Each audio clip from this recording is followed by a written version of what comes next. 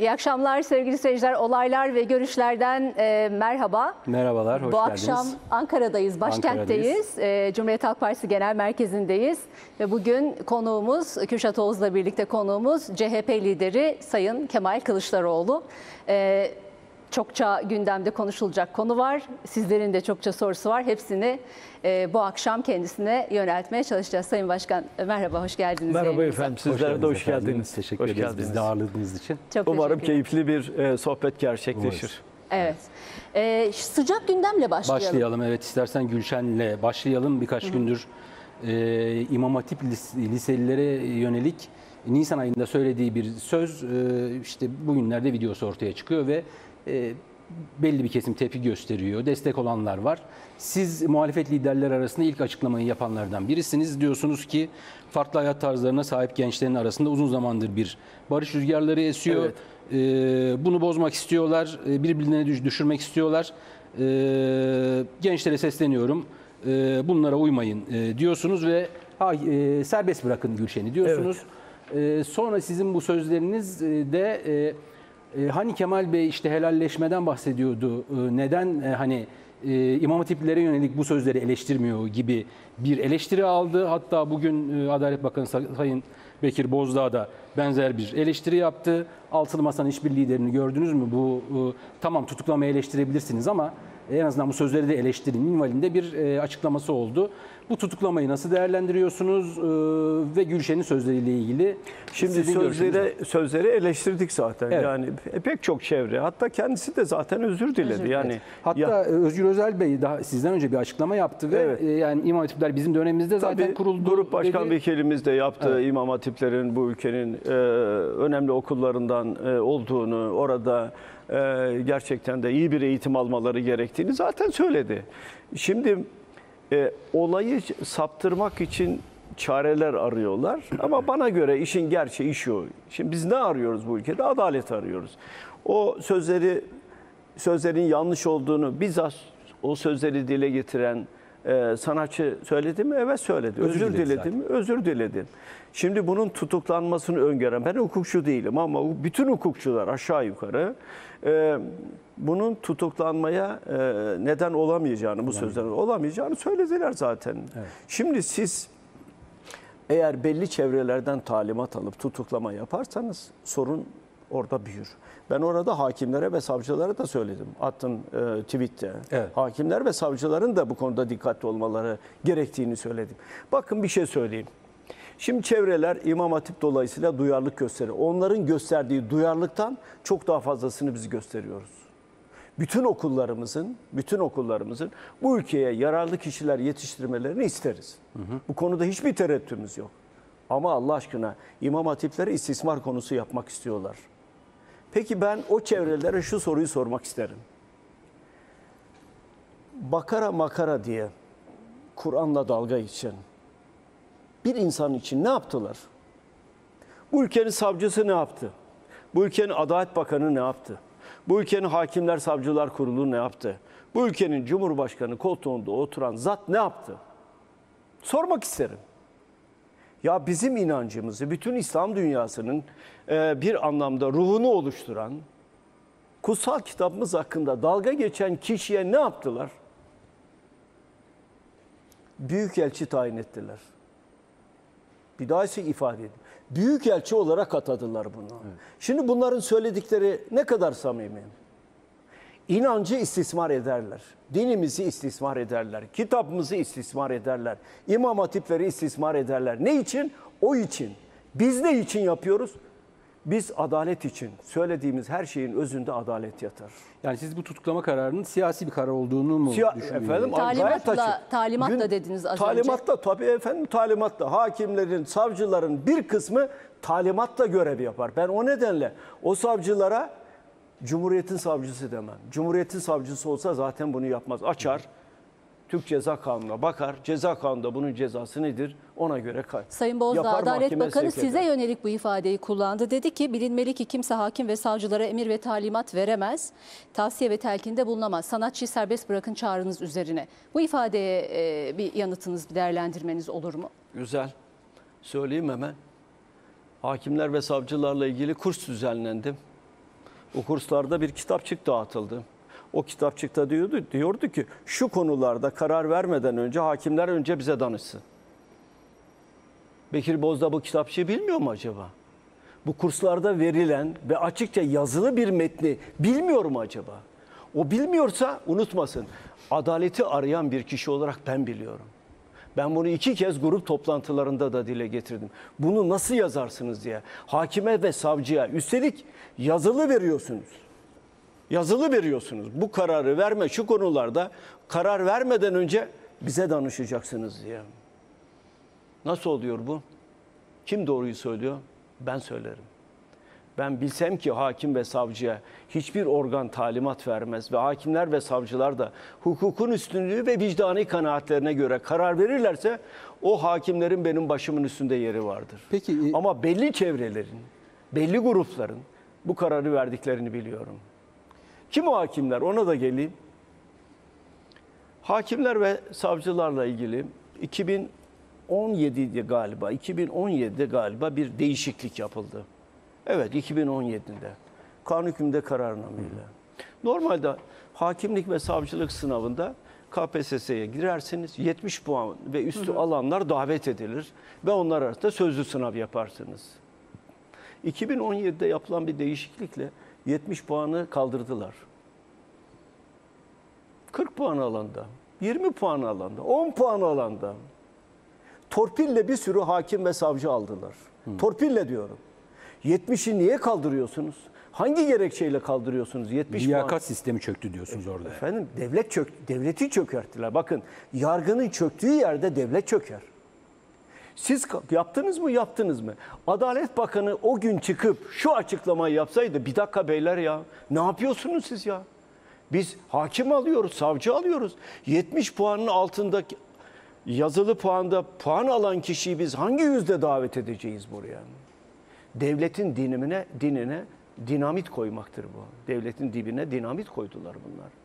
2017'de kanun hükmünde kararnameyle Peki bu yaptılar. bir talimatla verilmiş bir tutuklama kararıysa amacı nedir bu Evet tutuklama? ne umuyor gündem olabilir? değiştirmek Yani bunu bir, e, A- be- bir, amacı- bir, bir toplumun bir kesiminin yaşam tarzına müdahale ve baskı aracı olduğu Efendim, yorumunu iki yapanlar da amaç- var. Siz nasıl bakıyorsunuz? İki amaç var. Bir gündem değiştirmek. İki, vay efendim biz imam hatiplere sahip çıkıyoruz bu lafı etti diye. İmam hatipler sizin okulunuz mu? İmam hatipler Türkiye Cumhuriyeti Devleti'nin onurlu okulları. Hepimizin okulu. Sadece AK Partililerin çocukları mı gidiyor imam hatibe? Hayır efendim. Peki nasıl oluyor da böyle bir olay alıp bu kadar büyütüyorlar ve yasa dışı bir işlemin içine Türkiye'yi sokuyorlar. Yani tutuklanmaması gereken bir sanatçıyı tutukluyor. Gündemi değiştirip gençleri bir anlamda birbirlerine önce sosyal medyada sonra diğer alanlarda e, çatıştırmak. Bunun için yapıyorlar. Yani e, iktidarın kendi tabanını konsolide etmek için böyle bir şey yaptığını söyle. O, o görüşte misiniz siz de? Onu mu Evet, evet, düşünüyorsunuz? evet. Kendi tabanını, ayrıştırmadan fayda sağlayacak Kendi tabanını konsolide etmek bu bir. Ki burada burada şunu da söyleyeyim. Şimdi bakın vicdan sahibi herkes bunun yanlış olduğunu biliyor. AK Parti'nin içinde de vicdan sahibi insanlar var. Ve bunlar da yazdılar zaten. Onlar da paylaştılar, görüşlerini paylaştılar. Tamam biz bu sözü kabul etmiyoruz. Doğru bu sözü zaten sanatçının kendisi de kabul etmediğini söyledi. Yanlış olduğunu o da söyledi zaten. Özür diledi zaten. Evet. Yani özür dilemek de bir erdemdir aslında ya. Bir sanatçıdan beklenen bir şeydir. Özür de diledim. Ama siz ona rağmen alıyorsunuz. Tutukluyorsunuz, hapse atıyorsunuz. Eleştirince de vay efendim hakimler savcılar kuruluna nasıl müdahale edilir? Hiçbir hakime müdahale edilmez. Bu hakimler savcılar kuruluna da söylemek isterim. Anayasa Mahkemesi kararını uygulamayan hakim hakkında ne yaptılar? Ben Anayasa Mahkemesi kararını uygulamıyorum dedim. Ne yaptılar? Oturmuşlar orada koca koca adamlar, sözde hakimler, savcılar kurunda görev yapıyorlar. Anayasa Mahkemesi kararları herkesi bağlar diyor. Bütün idareyi bağlar diyor. Bütün yargıyı bağlar diyor. Anayasada bu kadar açık hüküm var. Alttaki mahkeme dedi ki ben sizin kararınızı uygulamıyorum. Niçin? Başka yerden talimat geldi diye. Bir üst mahkemenin kararına siz itiraz edebilirsiniz. Bir üst mahkemenin kararına alt mahkeme tekrar görüş. Ben bunu anlarım. Ama Anayasa Mahkemesi kararları bağlayıcıdır. Herkesi bağlar. Uygulamadılar. Ne yaptılar hakimi? Ne yaptılar? Hakimler, savcılar kurulu ne yaptı? Oturdular paşa paşa yerlerine. Biz eleştirince de vay bizi nasıl eleştirirsiniz? Efendim kimse talimat veremez. Siz onu benim külahıma anlatın. Talimat alıyorsunuz, talimatta görev yapıyorsunuz siz. Benim benim tazminat davalarında da biliyorum. Tazminata burada tazminatlık bir şey yok diye lehime karar veren hakimleri tak diye değiştirdiler. Yerine başka hakimler getirdiler. Benim bunu görmeyeceğimi mi sanıyorlar? Yargı ilk kez 2018 sonrası bu kadar siyasallaştı. İlk kez bu kadar siyasallaştı. Talimat yukarıdan geliyor. Bakın bir şey daha anlatayım. Bir suç örgütü lideri var Sedat Peker. Açıklamalar yapıyor. Hangi savcı harekete geçti? İtiraf ediyor ya. Ben bunu yaptım diyor. Biz beraber bunu yaptık diyor. Pazartesi suç duyurusunda bulunacağınızı Biz e, bulunacağız pazartesi günü. Allah aşkına ya bu ülkede ya bir cumhuriyet savcısı yok mu ya? Bir dakika demesi lazım değil mi ya? Burada çok önemli iddialar var. Kişi yer veriyor, zaman veriyor, saat veriyor, isim veriyor. Daha ne versin ya? Bir de elinden tutup getirse savcının önüne, savcı diyecek aman bunu sakın yanıma getirme. Bir de başıma belaya girmesin. Bir tek yapmadı o kaldı. Savcı alıp elinden götürecek. Sedat Peker diyecek ki beyler suçluyu size getirdim. Ya hangi demokratik ülkede böylesine garip bir olay olabilir? Biliyorsunuz dünyanın bütün ülkelerinde demokrasi olan dünyanın bütün ülkelerinde bir suç örgütü kişi herhangi bir kişi lideri de bıraktım. Evet. İtirafta bulunsa savcılar alırlar, sorgularlar ve mafyayı, çeteyi çökertirler. Ya bu adamlar Allah aşkına ya Baba filmini de mi izlemediler? Mario Bu- Puzo'nun Puzo. kitabını da mı okumadılar? Allah aşkına bunlar ya. Dünyanın her ülkesinde çetelerden birisi ko- konuşur. Hatta onların diliyle birisi kalkar, söyler bütün ayrıntıları anlatır. Arkasından Cumhuriyet savcıları alırlar, belgeler, dokümanlar, ifadeler vesaire çeteyi çökertirler. Şimdi siz pazartesi günü gideceksiniz ve bu iddiaların araştırılması için bir suç duyurusunda Evet, mı bulunacaksınız? Peki. Şimdi ben merak ediyorum. Savcı ne yapacak? Dosyayı kapatacak mı? Yoksa gerçekten bütün ayrıntılara girip anlatacak mı? Bütün ayrıntılara. Ha bunu yapacak, cesaret edecek bir savcı bugün var mı Türkiye Cumhuriyeti Devleti'nde? Bilmiyorum. Ama şundan yüzde yüz eminim yani. Ayda 10 bin dolar rüşvet alan siyasetçi var. Kim dedi? Türkiye Cumhuriyeti Devleti'nin İçişleri Bakanı dedi. Ayda 10 bin dolar rüşvet alan siyasetçi var dedi. Ayda 10 bin dolar alan siyasetçinin üzerine gittik. Cumhuriyet Savcısına bildireceğim dedim. Bildirdi mi? Bildirmedim. Niye bildirmedi? Acaba İçişleri Bakanı da o suçun ortağı mı? Bir daha söyleyeyim. Acaba İçişleri Bakanı da o suçun ortağı mı? Ortağı değilsen ismini verirsin. Televizyonda söyledin. Devletin televizyonda söyledin bir de üstelik. Söyledin ayda 10 bin dolar rüşvet alan. Kim bu arkadaş ya? Kim bu rüşvet alan adam? Siyaseti kirletiyoruz rüşvet alan adam. Ama onun hamisi olan bakan onu koruyor. Olmaz efendim. Olmaz. Artık öyle bir noktaya geldik ki bakın bunu çok samimi söylüyorum. Saray artık Türkiye'yi yönetemiyor. Yönetemez zaten. Bu kadar kirlenen ve herkesin biri birine bir anlamda gebe kaldığı bir ortamda kimse kimsenin hakkında çıkıp rahat konuşamıyor. Ayda 10 bin dolar rüşvet alan adamı yakalayın o da diyecek ki ben bu rüşveti şundan aldım ama o da öbüründen rüşvet alıyordu diyecek. Herkes biri birine dokunmuyor. Çünkü dokunduğu andan itibaren çok şey büyüyecek. Çok şey patlayacak. Ben Peker'in iddiaların tamamı doğrudur. Bakın bir daha söylüyorum. Tamamı doğrudur. E çünkü yaşamışsa zaten. Taraf zaten. Söylüyor biz bunu yaptık diyor. Ya bunu yaptık diyen adamı suç mu? Anlattıkları suç. Savcı çağırıyor mu? Savcı çağırmıyor. Niçin? Ya çağırırsan başın belaya girer. Ben hakimin de savcının da belli bir teminat altında olduğuna inanmıyorum. Anayasada diyor ya hakimler ve savcılar teminatı vesaire sayar. Anayasada der. Hangi teminat? Hangi teminat? e, e, demokrasi Bugün öğleden sonra isterlerse yani yarın diyelim öğleden sonra isterlerse istedikleri hakimi istedikleri yere sürebilirler. Kim? Hakimler ve Savcılar Kurulu. Hakimler ve Savcılar Kurulu adalete en büyük ihaneti yapan kuruldur. Adalete en büyük ihaneti yapan kuruldur. Anayasa Mahkemesi kararını uygulamayan hakimi derhal görevden alıp görevine son vermeyen bir kurul görevini yapmamıştır. Adalete en büyük ihaneti yapmış olan kuruldur. Peki e, demokrasi özgürlükler konusuna tekrar geleceğiz ama bu Gülşen bahsini kapatmak için bir soru daha sormak istiyorum size. Sizin bu helalleşme çabalarınız çerçevesinde bir soru E, diyelim e, parti olarak iktidara geldiniz veya e, seçildiniz Cumhurbaşkanı oldunuz. E, sizin imam hatiplerle ilgili bir tasarrufunuz olacak mı? Bu e, yani bu gündeminizde var mı? E, çünkü hep bu helalleşmeden falan bahsedilirken konu hep oraya e, kayıyor genelde. Olacak, olacak, olacak. İmam hatiplere en iyi öğretmenleri göndereceğiz. Oradaki çocuklarımızın en iyi şekilde yetişmelerini sağlayacağız. Onları siyasetin odağı haline asla getirmeyeceğiz. Onlar Müslümanlığı bilecekler, onlar sevgiyi bilecekler, onlar hoşgörüyü bilecekler, onlar inancımızı bilecekler. Onlar bilimin ne kadar değerli olduğunu bilecekler. Onlar ilim içindeyse gidin öğrenin diyen sevgili peygamberimizin bütün bütün öngörülerini hayata geçirmek için Bugün eğitim edecekler. standardında, eğitim kalitesinde olması gereken yerde olmadığını mı Olma, düşünüyorsunuz? tabii hangi okul öyle? Hiçbir okul öyle değil. Okulları da mahvettiler bunlar. İmam hatipleri sanki bir siyasi partinin arka bahçesiymiş gibi. Ya nasıl siz arka bahçesi dersiniz? Nasıl böyle adlandırırsınız? Diğer okullar üvey mi ya? Bütün okullarda çocuklarımızın iyi eğitim alması lazım. İyi öğretmenler olması lazım.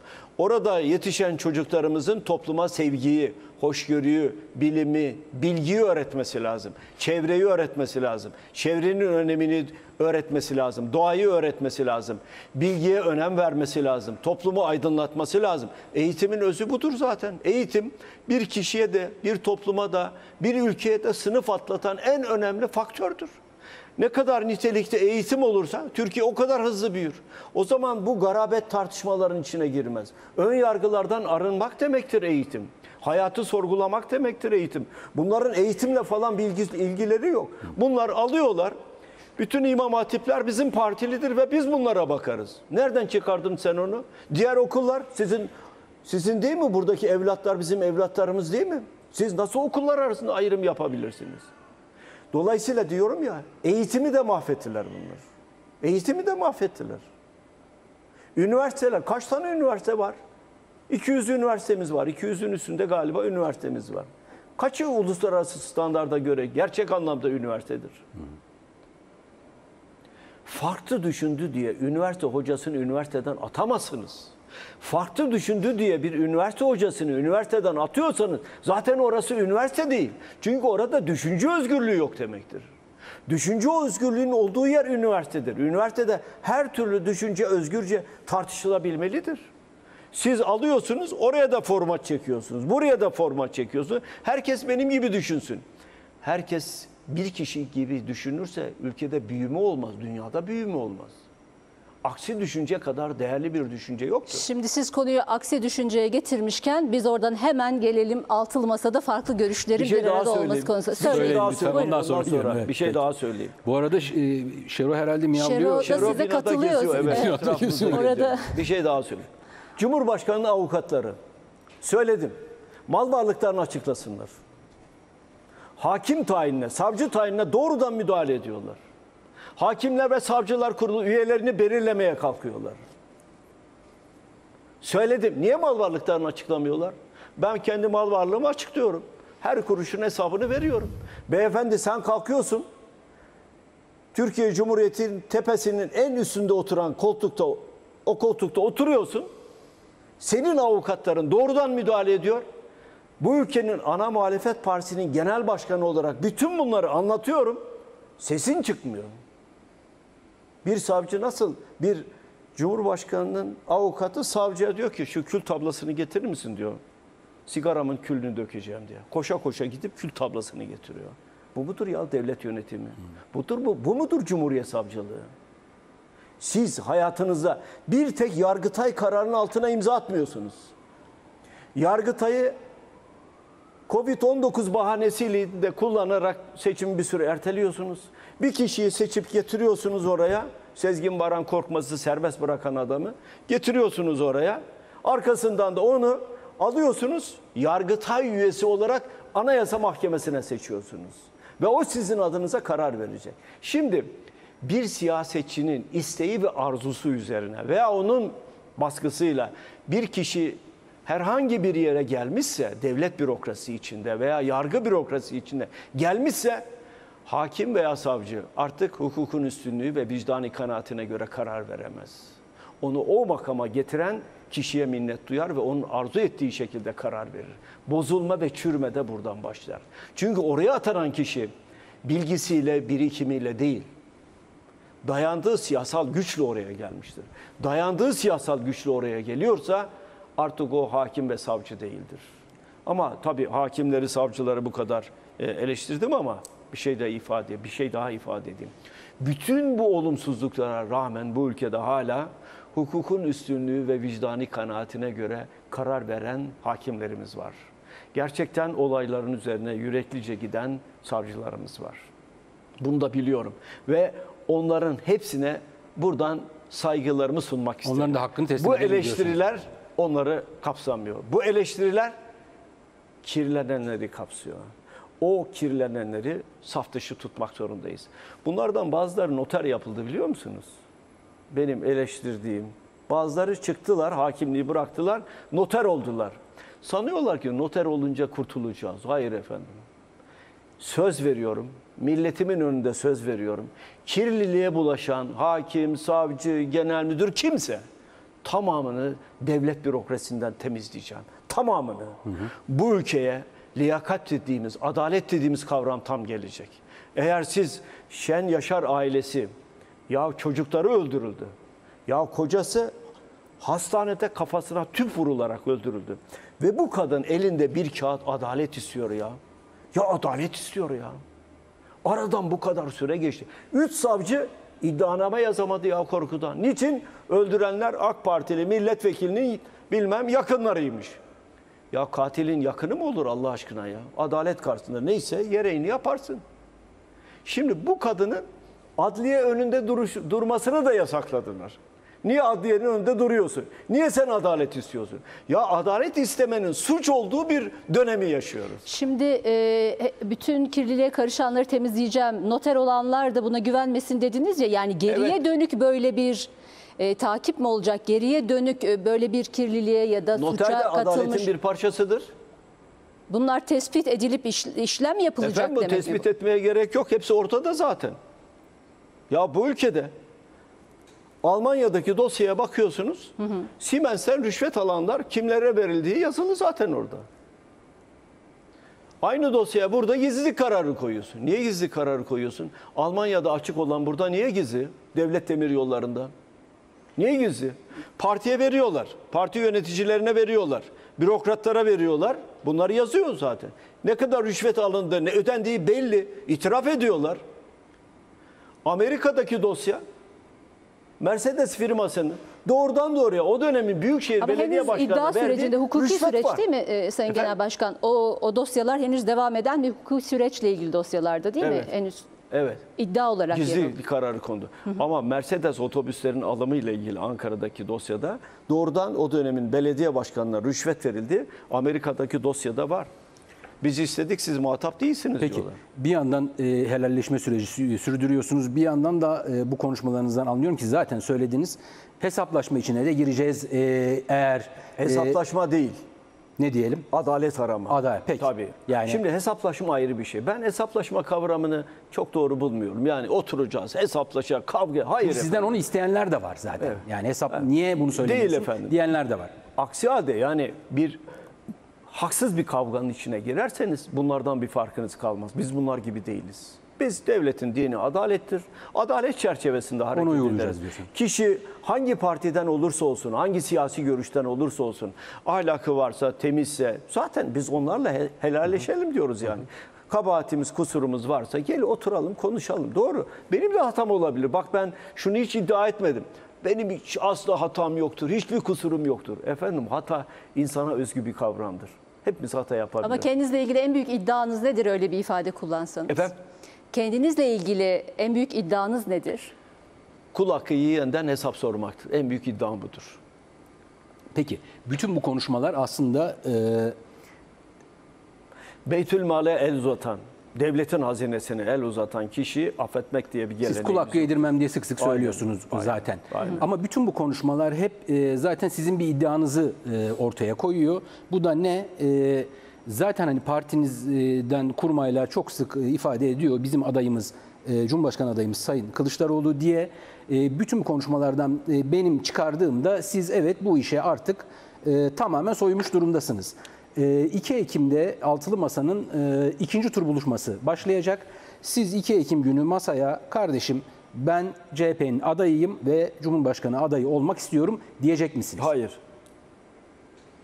Nasıl yapacaksınız bu işi? Altı lider, Konuşacak mısınız? Altı lider oturup buna karar verecek. Ama bu süreç nasıl işleyecek? Her lider, Bu- bu süreç her gayet lider güzel bir işler. isim ya da bir öneri telaffuz etmeyecek mi?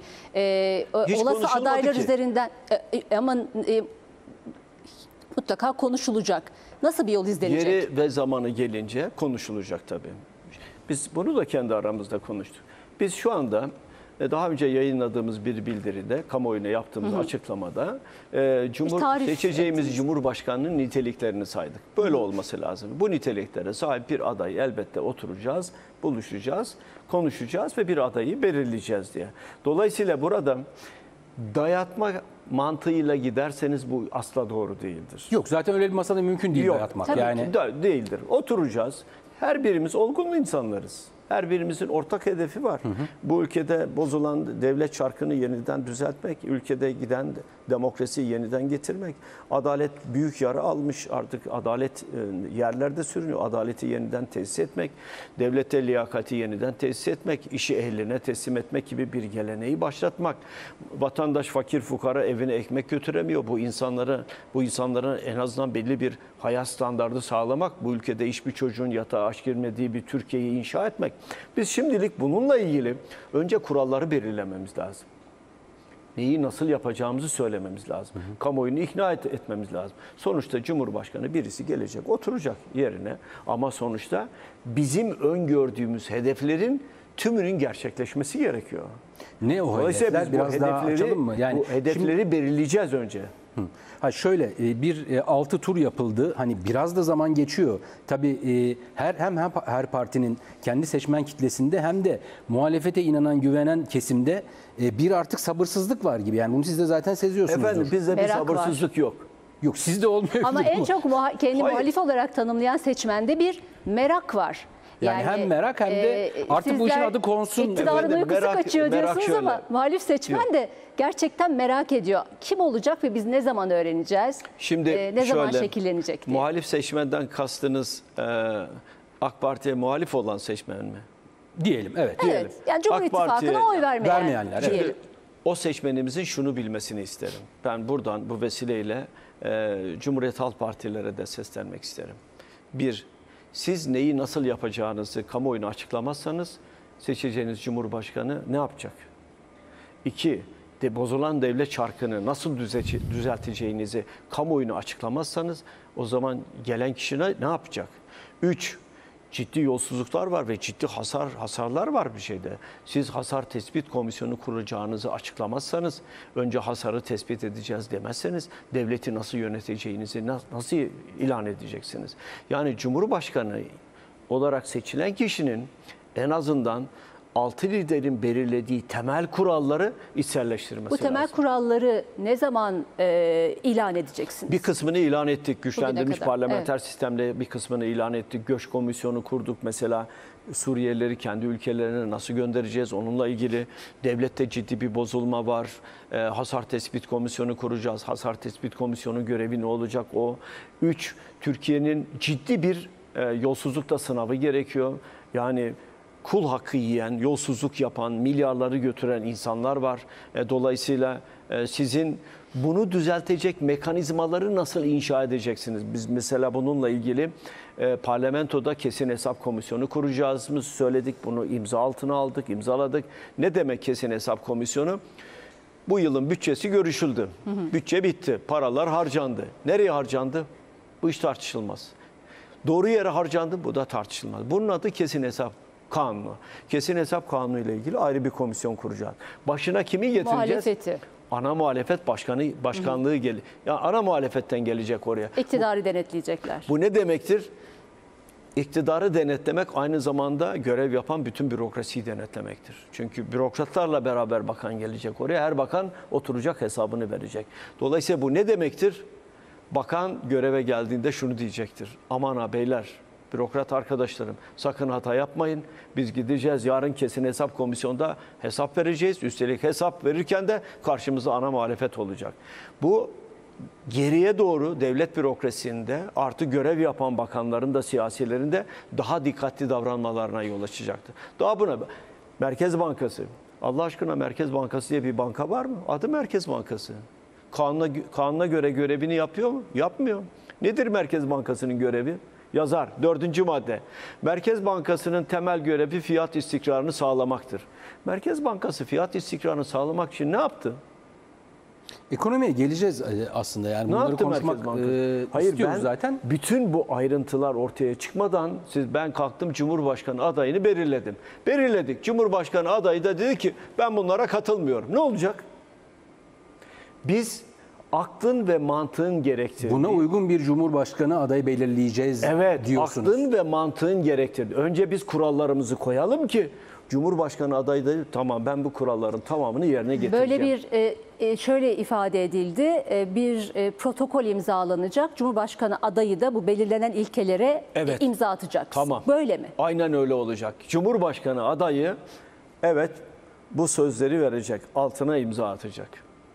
Yani altı Dolayısıyla partinin 6 partinin uzlaştığı- adayı e, uzlaştı, üzerinde uzlaştığı bir isim evet. olacak. Altı partinin adayı olarak altı partinin ortaya koyduğu temel ilkelere sadık kalacağına dair kamuoyunu açacak, e, kamuoyuna söz verecek ve altına imza atacak. Peki efendim bir de e, işin e, bir- Dolayısıyla özür dilerim. Dolayısıyla hani oturalım Cumhurbaşkanı adayını belirleyelim. Bu bu Türkiye'nin içinde bulunduğu sorunları çözme konusunda güçlü bir iradenin ortaya konmaması. Olay Cumhurbaşkanı olayı değil, olay Türkiye olayı. peki e, Ya Türkiye öyle bir noktaya geldi ki bürokraside ciddi bir çürüme var. Ekonomide ciddi aşmazlarımız var. Ahlaki düzeyde ciddi bir yozlaşma var. Uyuşturucu belası var bu ülkede. Gidin Türkiye'nin hangi iline gidiyorsanız gidin. Boşanma davalarına bir bakın. Böyle müthiş bir boşanma olayı var. Evlerde büyük bir geçimsizlik var. Siz bütün bu sorunları bir tarafa atıyorsunuz. Efendim biz Cumhurbaşkanı adayını kimi Ama seçmen Öte için yandan- adayın kim olduğu, Öde- kimliği, adayın kim olduğu onunla şunun için kurduğu önemli. bağ önemli Ee, değil mi? Mesela Cumhurbaşkanı Erdoğan aday olduğunu zaten açıkladı. Yani Evet. o konuda herhalde bir tereddüt yok. Onun karşısında kazanacak bir Orada aday. şöyle tereddüt var. Bazı çevreler bir daha aday olmayacak, kaybedeceğini bilirse aday olmayacak diye tereddütler, yazılar yazılıyor. Bilmiyoruz. Yani öyle- ama açıkladı. Ama açıkladı. Ben adayım dedi. Evet. Verili bir durum. E, gayet doğal. E, şimdi ama e, deniyor ki onun karşısında ka- kazanacak bir aday olması lazım. Zaten bütün tartışmada bunun etrafında Onun karşısında dönüyor. yüzde yüz kazanacak bir aday olacak. Hiç kimse endişe etmesin. siz- 13. Cumhurbaşkanı adayı Millet İttifakı'nın adayı olacaktır, kazanacaktır, şunu- gelecektir. Türkiye'nin bozulan bütün çarklarını düzeltecektir. Altı lider beraber. Şunu net olarak e, sorayım o zaman. E, sizin için sanıyorum Özgür Bey de söylemişti e, ya da kur- kurmaylarınız da bazen söylüyorlar. Kazanamayacağını yüzde bir bile e, ihtimal verse Sayın Kılıçdaroğlu aday olmaz diyorlar. Öyle mi? Hiç endişe etmeyin. Ee, Altı liderin çıkaracağı aday 13. Türkiye Cumhuriyeti Devleti'nin onurlu Cumhurbaşkanı Bu olacaktır. akşam bize bir manşet vermeyeceksiniz Sayın Kılıçdaroğlu. konuda en azından. o kadar Ben çok şunu manşet merak verdim ediyorum. ki. Aslında bu arada sorduğumuz sorular gerçekten merak ettiğimiz için Tabii, sorduğumuz evet. Ama sorular. ben de sadece merak gazeteci, Bak- sadece gazeteci olduğumuz için Tabii, tabii. değil, günlük hayatta Tabii. herkes bu konuyu konuşuyor. Ama bakın ben de Bir- size son Evet. derece samimi yanıt veriyorum. Şunu okuduk. Samimi. Bir süre önce dendi ki e, Bir özellikle şey daha söyleyeyim. söyleyin. Tabii. Ben bildiğiniz türden bir politikacı değilim. Kafamın arkasında başka hesaplar yok.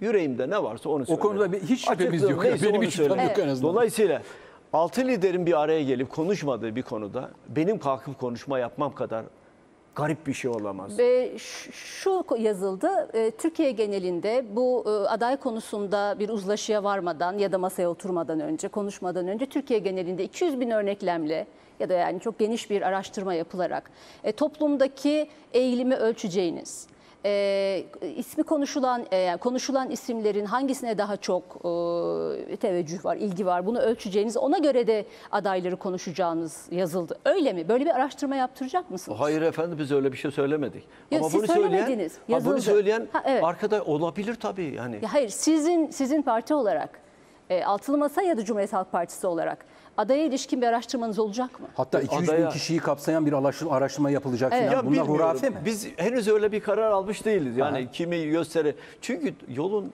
başındayız. Daha şey kararı alınmadı. Seçim kararı alınmadı. Bir şey alınmadı. Önümüzdeki Nisan ayında. Biz az önce de ifade ettim. Önce neler yapacağımız konusunda temel konularda önce görüş birliğine varmamız lazım.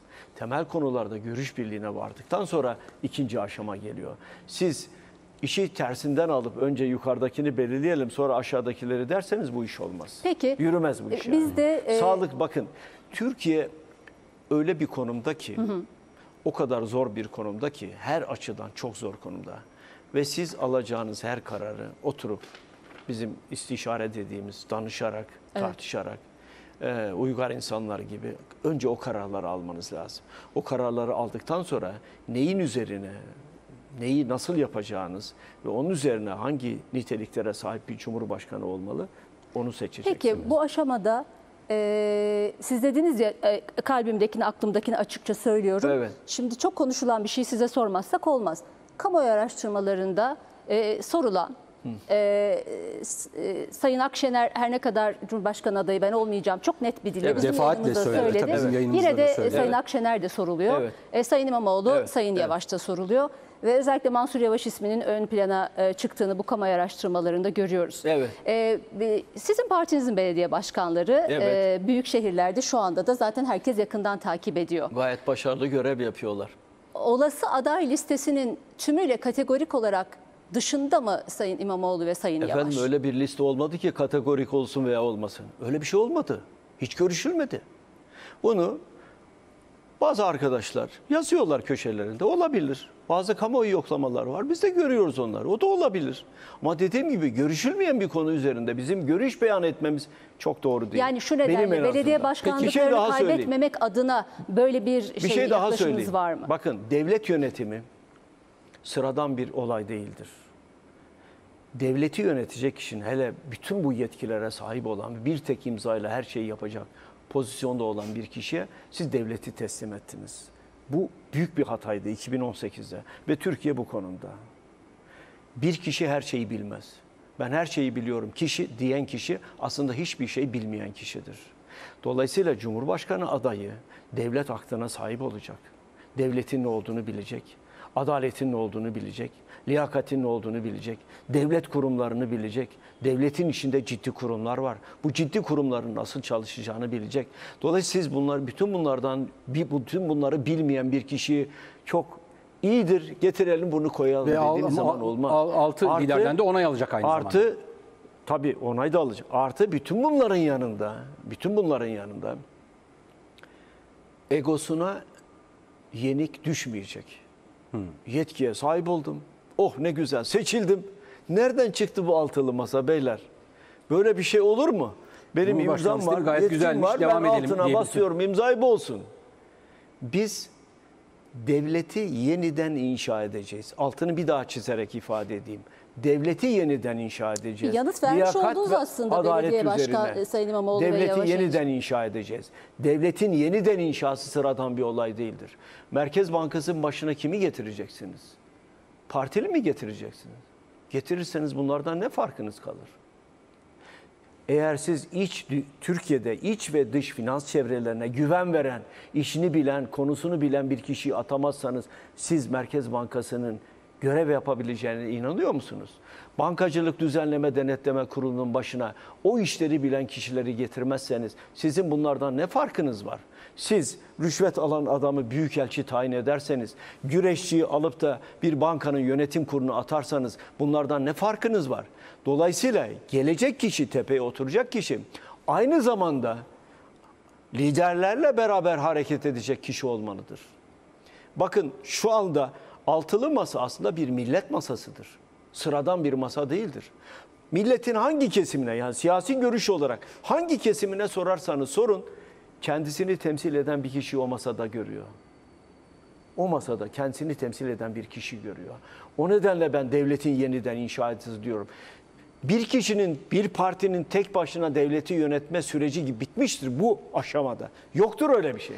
Altı lider, altı parti bir araya gelip biz yeniden, yeniden bütün kurumlarıyla adalet üzerine ve demokrasinin bütün kurumlarını getirerek her düşünceye, her inanca ve her kimliğe saygı duyarak yeniden inşa etmek zorundayız. Geçtiğimiz yıl liderler kabinesi konuşuldu. Yani e, Millet İttifakı'nın ya da muhalefetin çıkardığı adayın e, sadece tek başına Cumhurbaşkanı adayı değil, Cumhurbaşkanı yardımcısı, belki ekonomi yönetiminin kimde olacağı, dış politikanın kimde olacağı gibi bir e, altılı masadaki liderlerin belki de bizzat içinde yer aldığı bir e, toplu bir e, ekip olarak bir e, adaylık sürecini ve Hatta kampanyasını sizin e, adaylığınızı böyle Bütün bir temel ekiple kararların, bu benim görüşüm.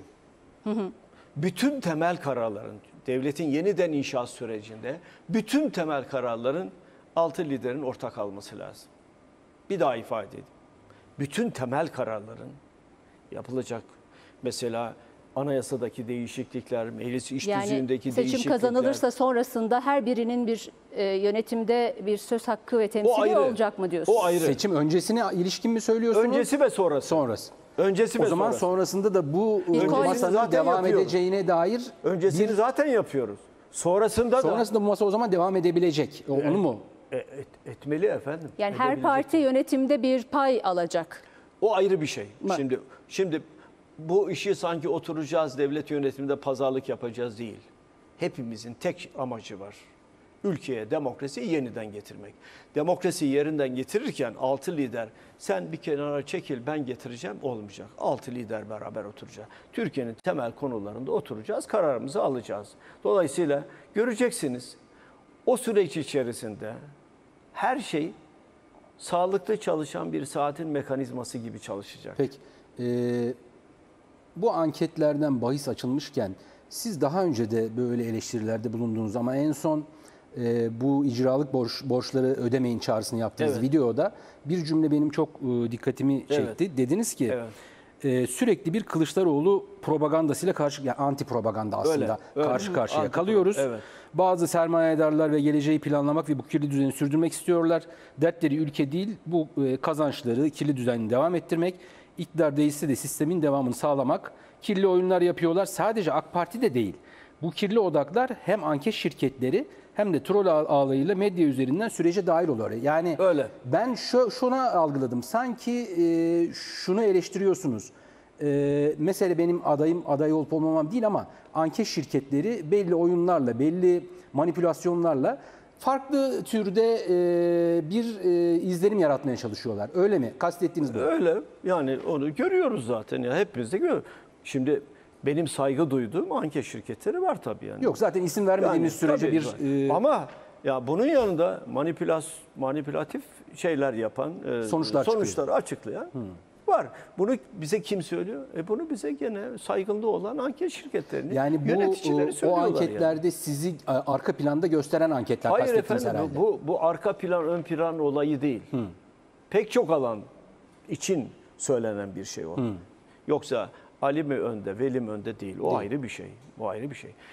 Şimdi sorulacak sorunun niteliği önemli. Sorulacak sorunun nasıl sorulacağı önemli. Soruların iyi belirlenmesi lazım. Bunlar önemli.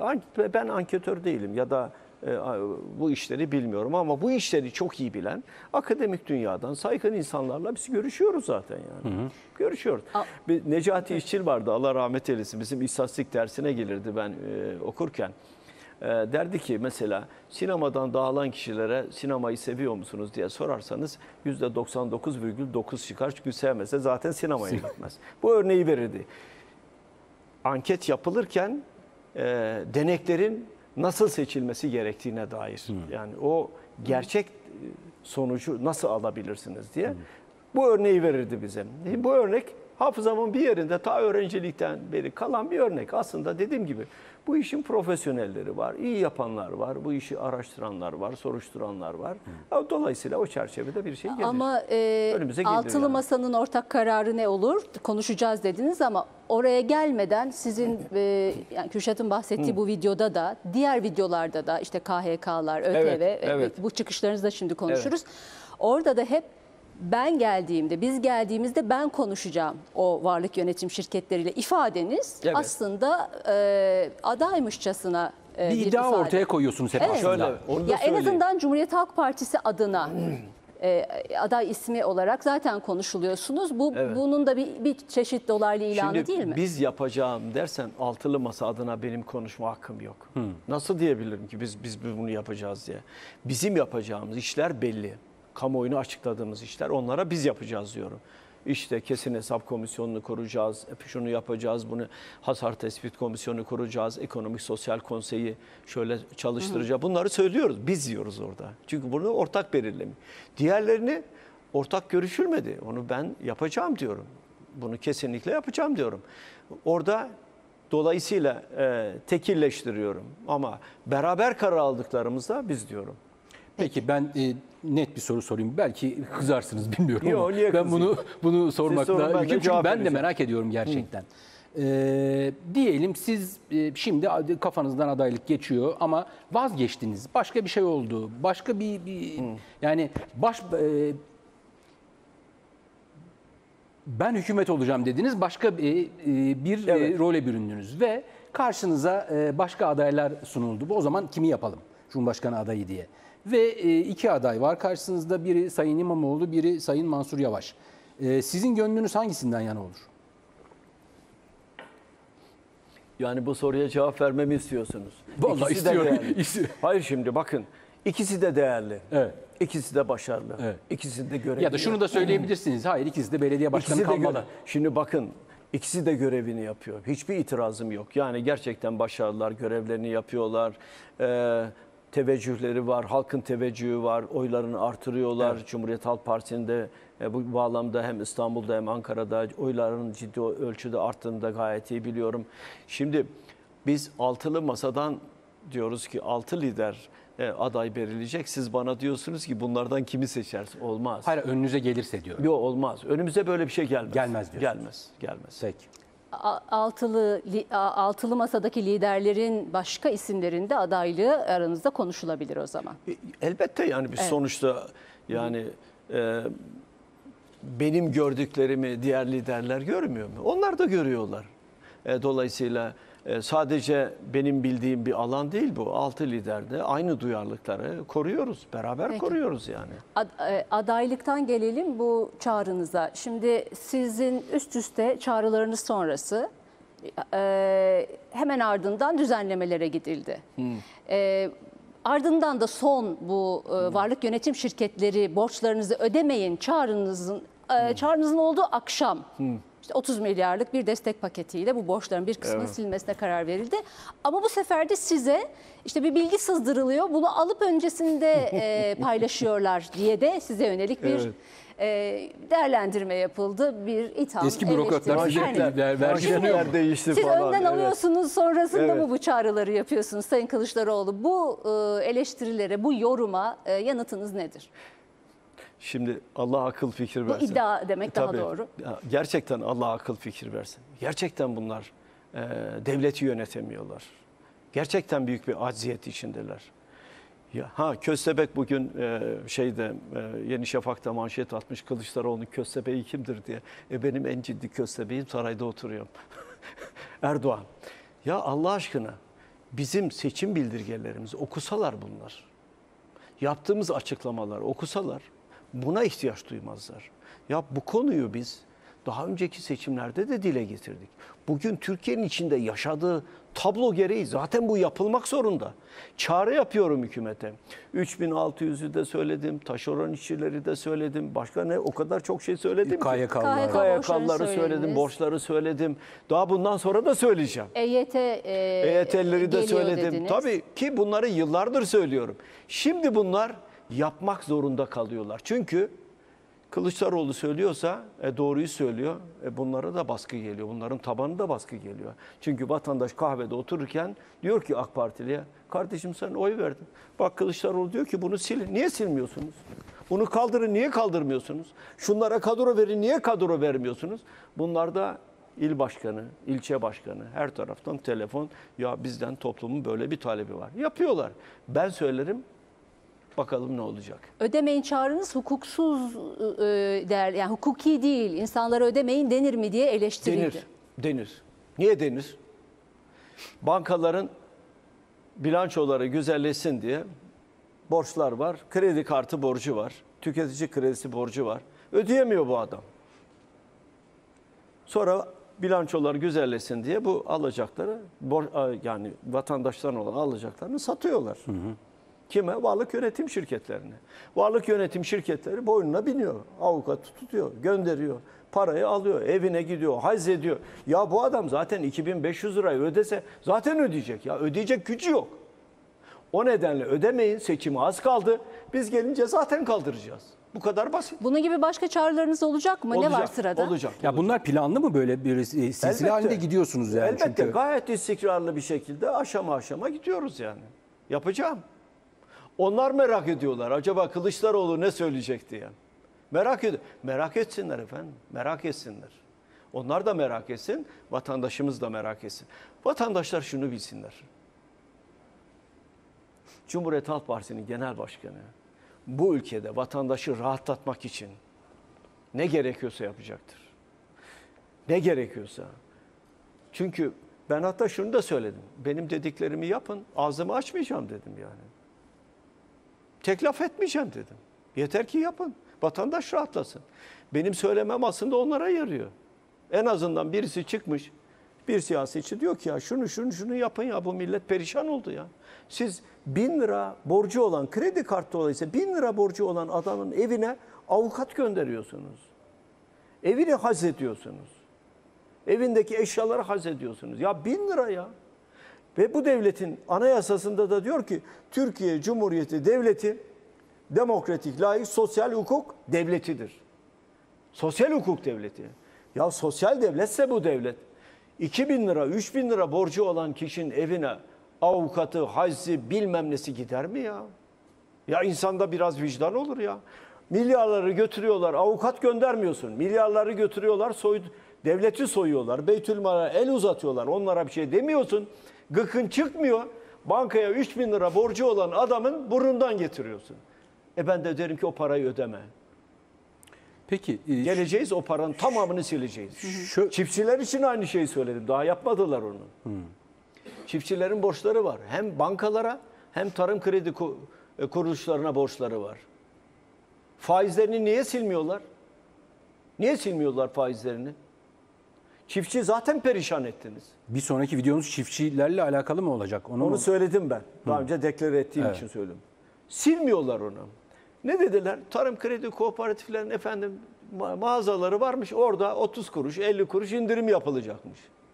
Ya çiftçinin gübresine yüzde 400 zam yaptın ya. Yüzde 500 zam yaptın ya. Fabrikanın sahibi kim? Gübre fabrikasının. Tarım Kredi Kooperatifi. E, Tarım Kredi Kooperatifi sahibi ise çiftçiye bu kadar e, diyorsun ki 50 kuruş, 30 kuruş, 75 kuruş 1 lira indirim yapacağım. Ya gübrede yap indirimi. Yap gübrede indirimi. Çiftçi gitsin ucuz gübre alsın. İşte ise ucuz üretir ya. Peki şimdi iktidar... Ona gelince yapmıyor bakın. Evet. Gübreye gelince yapmıyor. Neden? Bir gübre lobisi var çünkü. O lobinin bir parçası da tarım kredi kooperatifleri. Biz de yayınlar Yöneticileri yapıyoruz. için ceza kesildi biliyorsunuz. Evet. Kamuoyu araştırma şirketlerinden isimlerle bu araştırmalara bakıyoruz. e, daha önceki seçimlerde olmadığı kadar bir kararsız seçmen olduğundan bahsediliyor.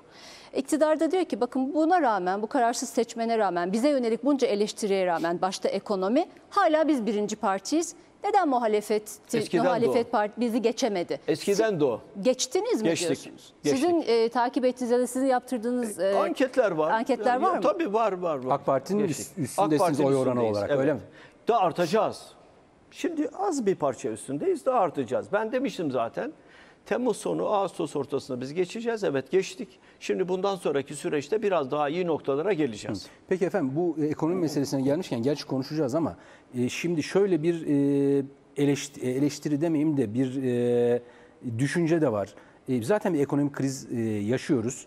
E, işte e, asgari üc- ücretlerin artırılması, işte aflar vesaire vesaire bu iş e, seçimden sonra çok daha sıkıntılı bir hale gelebilir ekonomi ve e, iktidara gelen e, ya da yönetimi e, alan işte kim olursa olsun çok daha ciddi sıkıntılar yaşayabilir ve e, yönetilemez bir duruma gelebilir. Bundan endişe duyuyor musunuz? Yani ekonominin e, seçimden sonra daha da kötü olabileceğini düşünüyor musunuz ve e, eğer e, tabii ki vardır e, iktidar ve yönetme e, düşünceniz, fikriniz nasıl yöneteceksiniz bu süreci? Şöyle söyleyeyim. Altı liderde oturduk bu konuyu konuştuk. Bu ekonomi konusunu konuştuk. Evet yani sonuçta bir, bir sayfalık, bir buçuk sayfalık. Ya şunu da ekleyin bu arada e, yani benim konuştuğum e, partilerden ekonomi kurmayları e, şunu söylüyorlar. Yani ekonomi konusunda 3 aşağı 5 yukarı aynı şeyi düşünüyor altı masa diye. Düşünüyoruz. Evet. Zaten o konuda kamuoyuna açıklama da yapıldı. Ekonomide hangi kararların alınacağına yönelik de açıklamalar yapıldı. İlk yapacağımız işlerin ne olacağı yönünde açıklamalar yapıldı. Ekonomik Sosyal Konseyi e, şey vardı. O e, Sayın Erdoğan'ın e, Fiyat İstikrar Komitesi. Komitesi. Merkez Bankası'nın görevini bir kararnameyle alıyorsunuz ya. Akıl var, mantık var ya. Mer- Kanunu kararnameyle neyse Anayasa Mahkemesi Evet, iptal etti. bir karar iptal etti. Şimdi şöyle elbette ki e, altı lider tabloyu biliyoruz. Evet. Biz erke- seçimin biraz erken olmasını istememizin temel nedeni Türkiye çok daha ağır koşullarla karşı karşıya kalmasın. Bir an önce yapalım ve ekonomiyi düzeltme konusunda aldığımız kararlarla da mesafeyi biraz daha yani vatandaş biraz daha rahat nefes alabilsin. Ama yapmıyorlar, direniyorlar, düzelteceğiz diye. Mümkün değil düzeltemezler. Hele bu kafayla hiç düzeltemezler. Her gün zam geliyor zaten. Her gün. Her şeye zam geliyor. Hele şimdi kış yani Allah yardımcısı olsun fakirin fukaranın. Kışı nasıl geçirecekler e, onu da bilmiyorum. Şundan emin olmanızı isterim. Bütün ayrıntıları biliyoruz. Her partide çok iyi ekonomi kurmayları var. Onun da hakkını yemeyelim ve bunlar zaman zaman bir araya geliyorlar. Hem devlet deneyimi olan hem akademik dünyadan gelen ve deneyimi olan insanlar bir araya geliyorlar. Önemli kararlar alıyoruz. Ee, şunu söyleyebilirim. 6 ayda bu ülkede vatandaşa bir nefes aldırırız. 6 ayda. Şimdi ben desem 3 ayda doğru olmaz. 6 ay dediğim 6 liderin de Çünkü şunu da bir unutmamak anlamda lazım. ortak seslendirme. Yani Değişikliği. seçimden sonra bir 9 ay sonra da bir de e, belediye e, seçimleri seçim. olacak. Evet. Yani e, hani o da bir seçim havasına sokacak ülkeyi ve e, bu Biz bakın ben bu ülkenin insanlığın ferasetine, sağduyusuna güveniyorum. Bizim neyi nasıl yapacağımızı kamuoyuna oturur, doğru bilgilendirirsek, hakkını teslim edersek, yani halkı kandırmazsak, yani siyahı beyaz, beyazı siyah olarak vatandaşa söylemezsek, doğru neyse onu ifade edersek, vatandaş bir desteğini bizden çekmez ve harcadığımız her kuruşun da hesabını vatandaşa verirsek. Ya şunu yaptık ama şunu yapıyoruz. Bakın ben size bir garabet anlatayım. Enteresan bir şeydir ya. Faiz diyor değil mi? Faiz, nas var. Faiz olmaz. Faizi yükseltemeyiz. Güzel. Merkez Bankası'nın faizini indirdiniz. En son 13 oldu değil mi? 13 oldu. Politika faizi. Şimdi vatandaşın devlete vergi ödeyecek mesela ödeyemedi. Herhangi bir nedenle gecikti. Gecikme faizi ne oldu biliyor musunuz? %19.2'den %30'a çıktı. E vatandaşa gelince hiç nas akıllarına bile gelmiyor. Niçin? Bir şey daha. Vatandaşın devletten olan alacağı olabilir. Vatandaşın devletten olan alacağına da yüzde dokuz uyguluyorlar faiz. Ya bunlarda vicdan var mı ya? Halk bu kadar kandırılır mı ya? Bu kadar yalan arka arkaya nasıl söyleniyor ya? Vatandaşa gelince yüzde otuz faiz uyguluyorsun borcuna uyguluyorsun. 19'dan 30'a çıkarıyorsun. Dönüp reklamını yapıyorsun. Merkez Bankası'nın politika faizini efendim 14'ten 13'e düşürdük. Kim için düşürdün? Bir avuç kazanan için. Bir avuç ama. 13'ten veriyorsun, alıyor banka vatandaşa veriyor. %30'dan %40'tan veriyor. Kim kazanıyor? %400 gelir elde eden bankalar Banka kazanıyor. kazanıyor. Evet. Vatandaş bütün bu gerçekleri biliyor. O nedenle vatandaşın bize teveccühü var. Öyle gelirler efendim bunlar eee, bir süre sonra onu bir AK Partili söylüyordu. Bunlar hazineyi tamamen bitirelim. Bunlara hiçbir şey bırakmayalım. Zaten biz gideceğiz. Gelince bunlar yönetemesinler, para bulamasınlar. Ondan sonra bir süre sonra vatandaş der ki bunları yönetemediler. Tekrar AK Parti gelsin. Beklentileri bu. Ama böyle olmayacak mı Aç diyorsunuz? tavuk kendisini buğday ambarında hissedermiş. Biz Böyle ne olursa şey olsun toparlarız diyorsunuz. Göreceksiniz, göreceksiniz. Saat gibi çalışacak. Her şey, her şey. Ve her şey, her aşama kamuoyu bilgilendirilecek. Her aşama. Merkez Bankası'nda şöyledir, hazinede şöyledir, vergide şöyledir, faize şöyledir, bütçemiz şöyledir. Ya döviz geliyor. Dövizin nereden geldiği belli değil. Herhalde dışarıya götürdükleri rüşvet paralarının bir kısmını mı getiriyorlar? Evet. Ya. Ee, bir araya- Ekonomi e, devam edelim mi? Devam ediyoruz evet. Evet. Ee, e, ekonomi bahsi yani ekonomiyi zaten konuşacağız ama ben onun için ya o soruyu Evet. sormadım araya girip çünkü seçimlerle de alakalıydı. Ee, şimdi e, bu altılı masa ve işte e, bu çerçevede aslında biraz HDP'yi de e, konuşmak lazım. E, HDP e, iki gün önce bir e, altı parti e, bir yeni bir birlik kurdu. İçlerinde HDP de Evet. var. E, ismi de Emek ve Özgürlük İttifakı. Eylül ayı sonunda açıklayacaklar. Evet. Tabii şimdiye kadar e, hep e, iktidar kanadından size işte HDP masada niye söylemiyorsunuz e, Ya da masanın altında. masanın altında ya da ayağı vesaire e, eleştirileri Evet, e, vardı. Bu oluşumla beraber bu da altılı bir masa aslında. Şimdi merak Bu- ediyorum ne diyecekler bu sefer. bu oluşumla beraber artık bu algı ortadan kalktı mı sizce? Bir, ikincisi e, yani hep e, mesela Cumhurbaşkanlığı adaylığın e, konusunda e, seçilecek kişinin HDP'nin oyuna ihtiyaç duyduğu algısı var. Öyle bir e, söylem var. Gerçekten öyle mi? Ve bu anlamda sizin e, HDP ile bu minvalde irtibatınız e, ne aşamada? Bir, Biraz uzun oldu kusura bakmayın Yo, ama yo, hayır, hayır. toparlamak Bir, altı lider orada, altı partinin genel başkanı orada. Bunlar belli zaten. Yedinci bir parti var mı? E yok. Yedinci bir partinin orada olduğunu söyleyen ne söylüyor? Halkına yalan söylüyor. Yedinci parti diyor ki neden biz yokuz? Bir süredir O ayrı. dediler. Onlar da neden varız. biz yokuz Neden. Ona da yoklar? gelirim. Neden ona, da, yoklar? ona da gelirim. Evet. Orada yok. E, olmayan bir şeyi halkın önüne çıkıp da ya oturduğun yere bak. Temsil ettiğin Türkiye Cumhuriyeti Devleti'ni temsil ediyorsun. Bayrağını temsil ediyorsun. Oturduğun yerde halka doğruları söylemiyorsun. Ya bir insan o makamda yalan söyler mi ya? Ayıptır ya. Günahtır ya. Ha görüşmeye gelince evet. bazı partiler görüşüyor, bazı partiler görüşmüyor. Siz? Ha CHP'ye gelince söyleyeyim. Biz bütün partilerle görüşüyoruz. Bütün partilerle görüşen tek partiyiz. Çünkü biz tarihin bize yüklediği bir misyon vardır. Biz Türkiye Cumhuriyeti Devleti'nde gerçek anlamda bir demokrasinin gelmesi için kendi kurulu süreci içinde mücadele eden partiyiz. Bir, çok partili hayata geçtiğimizde Demokrat Parti kazanmıştır. İnönü anahtarı teslim etmiştir. Yürüyerek Pembe Köşk'e gitmiştir. Demokrasiye inanmıştır. Demokrasinin en önemli kıstası halkın verdiği oya saygı duymak ve onun gereğini yapmaktır. Bir parti sürekli ben iktidarda nasıl kalırım diye özel bir arayışın içine giriyorsa o demokrasiye inanmıyor demektir. Bugün AK Parti'nin geldiği durum budur. İnanmıyor. Acaba seçim sistemini değiştiriyor, öbürünü değiştiriyor, bunu değiştiririm. Nasıl ben burada kalabilirim? Ya kardeşim millet seni istemiyor. Milletin oyuna saygı duyacaksın. İstanbul seçimlerinde. Yapmadıkları hile kalmadı ya. Hile diyorum yani. Aynı zarfın içine dört tane oy pusulası konmuş. Yüksek Seçim Kurulu aldı bir karar. Efendim üçü sahtedir, biri doğrudur. Ya affedersiniz biri sahte, üçü doğrudur.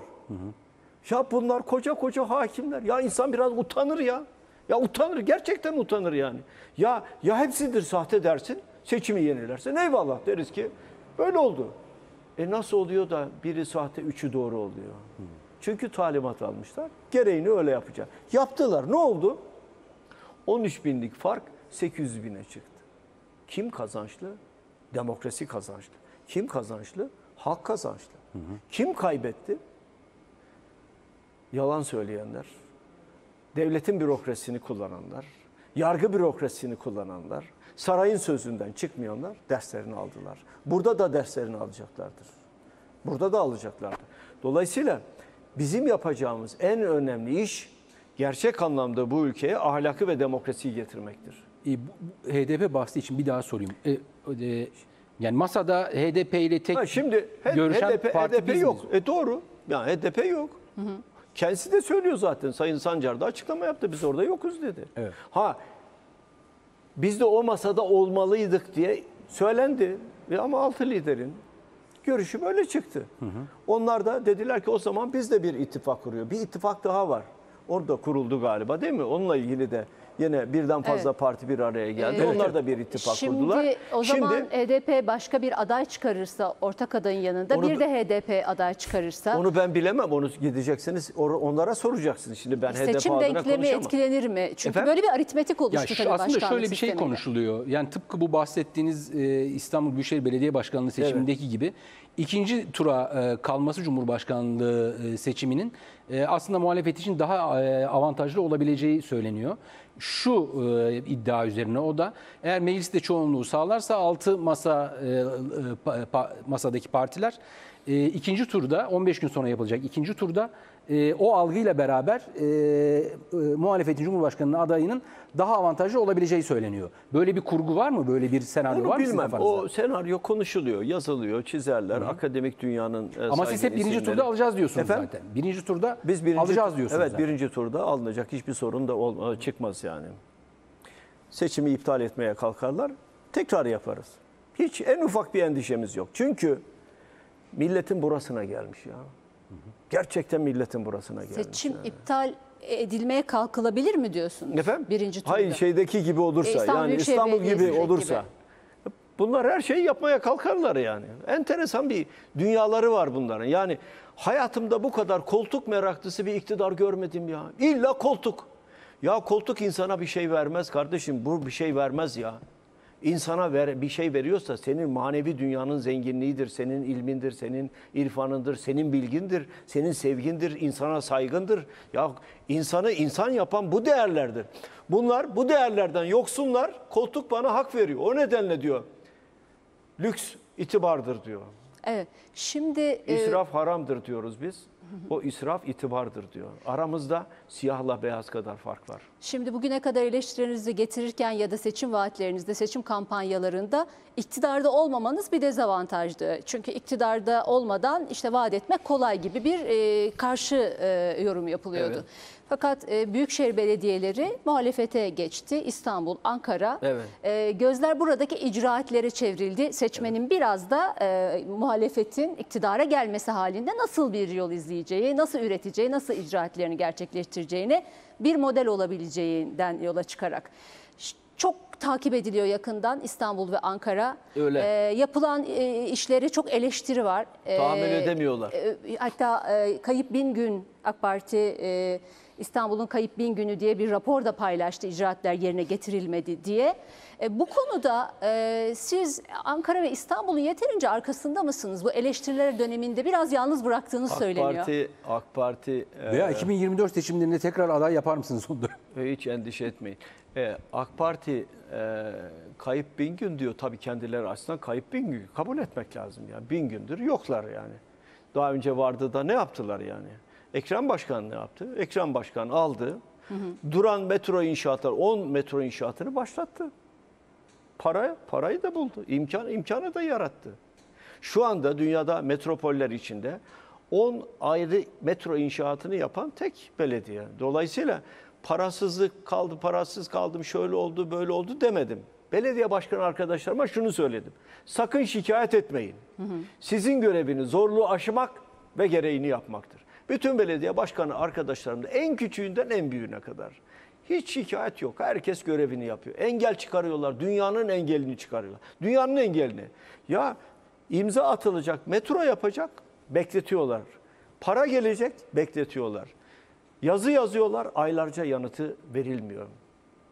Arsa belediye ait olan yerler başka amaçlarla gidiliyor. Çevre Şehircilik Bakanlığı'ndan karar alıyorlar. Ha bir şey daha yapacağız. Bu Çevre Şehircilik Bakanlığı'nı kapatacağız. Bakanlığı. Tabii.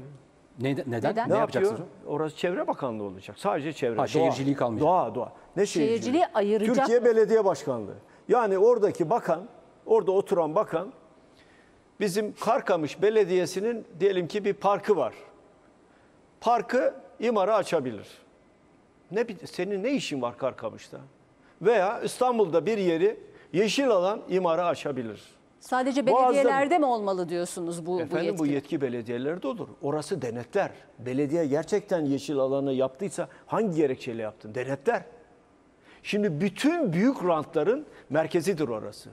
Beşi çetenin de merkezidir orası. Gidin bakın. Bütün o alanlar yeşil o askeriye, askeriye ait yerler vardı değil mi İstanbul'da? Çok geniş binlerce dönüm. Erdoğan ne dedi? Buralar yeşil alan olacak dedi değil mi? Hepimiz sevindik. Ne kadar güzel. Yeşil alan olacak. Ne yaptılar? İmara açtılar. Niçin? Para. Nereye gidiyor bu paralar? Nereye gidiyor bunlar? Bizim uyuduğumuzu sanıyorlar. Bizim bilmediğimizi sanıyorlar. İstanbul'da o ne kadar halkın, fakirin, fukaranın hakkı alındıysa o hakkı alacağım onlardan. O fakir fukaraya aynen iade edeceğiz biz. Peki. Tamamen öyle. Ee, Ankara'da öyle. Ankara'da gidin Çubuk Barajı neydi Allah aşkına? Perişan vaziyetteydi ya. Toz içindeydi orası. Gidin bir de şimdi bakın. Tertemiz pırıl pırıl. Bütün o bölgenin insanları oraya en azından geliyorlar. Geziyorlar, eğleniyorlar. Ee, bütün bunları, şimdi ben dedim ki hatta bir ara Mansur Başkan'a, siz de Çubuk Barajı konserleri yapın. Güzel, insanlar gelsinler orada eğlensinler. Yeşili görsünler, doğayı görsünler. O barajı görsünler. Cumhuriyet'in yaptığı ilk baraj ya. Ya bunlar tarihte bilmiyorlar. Emin olun. Orada güzel bir şey var sütün içinde. Barajın açıldığına dair güzel bir kitabe de var orada. Ben de e, açılışına gittiğimde orada gördüm. Dolayısıyla burada da çok sayıda şimdi yeşil alan yapılıyor. Çok büyük bir alan e, Mansur Başkan yapıyor. O da bütün engellemelere rağmen bütün, bakın hiç şikayet yok. Bütün bunların hepsi yapılıyor. Ama zorla rant elimizden gitti. Mahvolduk. Para gitti. Para da gider, rant da gider. Çünkü rant halkındır.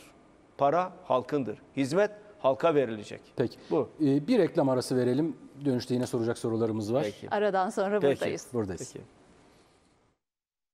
Tekrar merhaba. Olaylar ve görüşler devam ediyor. Bu akşam konuğumuz CHP lideri Sayın Kemal Kılıçdaroğlu. En son belediyelerin icraatlerinde kaldık. Belediyelerin icraatlerinde kaldık. Benim bir e, sorum olacak belediyelere geçmişken. E, şimdi e, bir 15-20 gün önce e, Sayın İmamoğlu'nu yayına aldık Fatih Bey'in yayınına.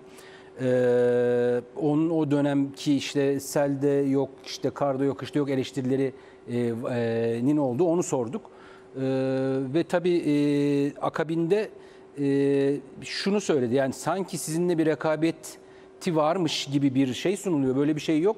Ben Sayın Başkan'ın e, en iyi yol arkadaşıyım. Tüm gezilerimden de haberi e, var dedi.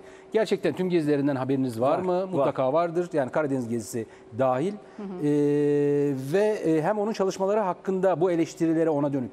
Ne diyorsunuz? E, hani kafanızda ya keşke dursaydı o günde orada diye bir şey istifam oluşuyor mu? Oluştu mu o dönemde? Yok hayır yani şimdi e, şöyle bir şey yok. Yani sanki biz hiçbir şey düşünmüyoruz. Sadece belediye başkanları ne yapıyor, ne ediyor onları e, sürekli gözlüyoruz gibi. Yok öyle bir şey. Yani çok sayıda belediyemiz var. Belediye başkanlarımız çalışıyorlar. Onlardan aylık belli bilgileri alıyoruz. O bilgiler geliyor. E, o bilgileri kendi MYK'mızda, Merkez Yönetim Kurulu'nda değerlendiriyoruz. Ek bilgiler istediğimiz zaman tekrar belediye başkanlarına soruyoruz. Ek bilgiler geliyor. Belediye başkanlarının zaten dünya kadar işi var.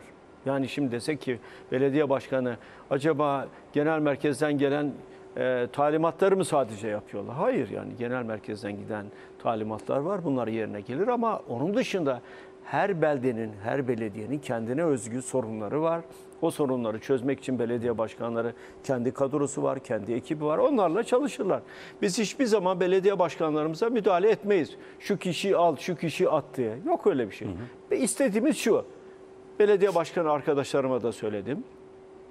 Biz sizin başarınızı istiyoruz. Başka bir şey değil. Başarılarınız aynı zamanda Cumhuriyet Halk Partisi'nin başarıları demektir. Çünkü belediyeleri nasıl yönetiyorsak Türkiye'yi de aynı anlayışla yöneteceğiz. Ahlakımız, liyakatimiz, bakışımız, sorunlara kilitlenişimiz, sorunları çözme konusundaki irademiz. Belediye başkanları bunu yapıyorlar. İmkanları Yeteri kadar imkanı var mı? Hayır, yeteri kadar yok. Bazı gelirlerini kestiler, bazı gelirleri vermediler.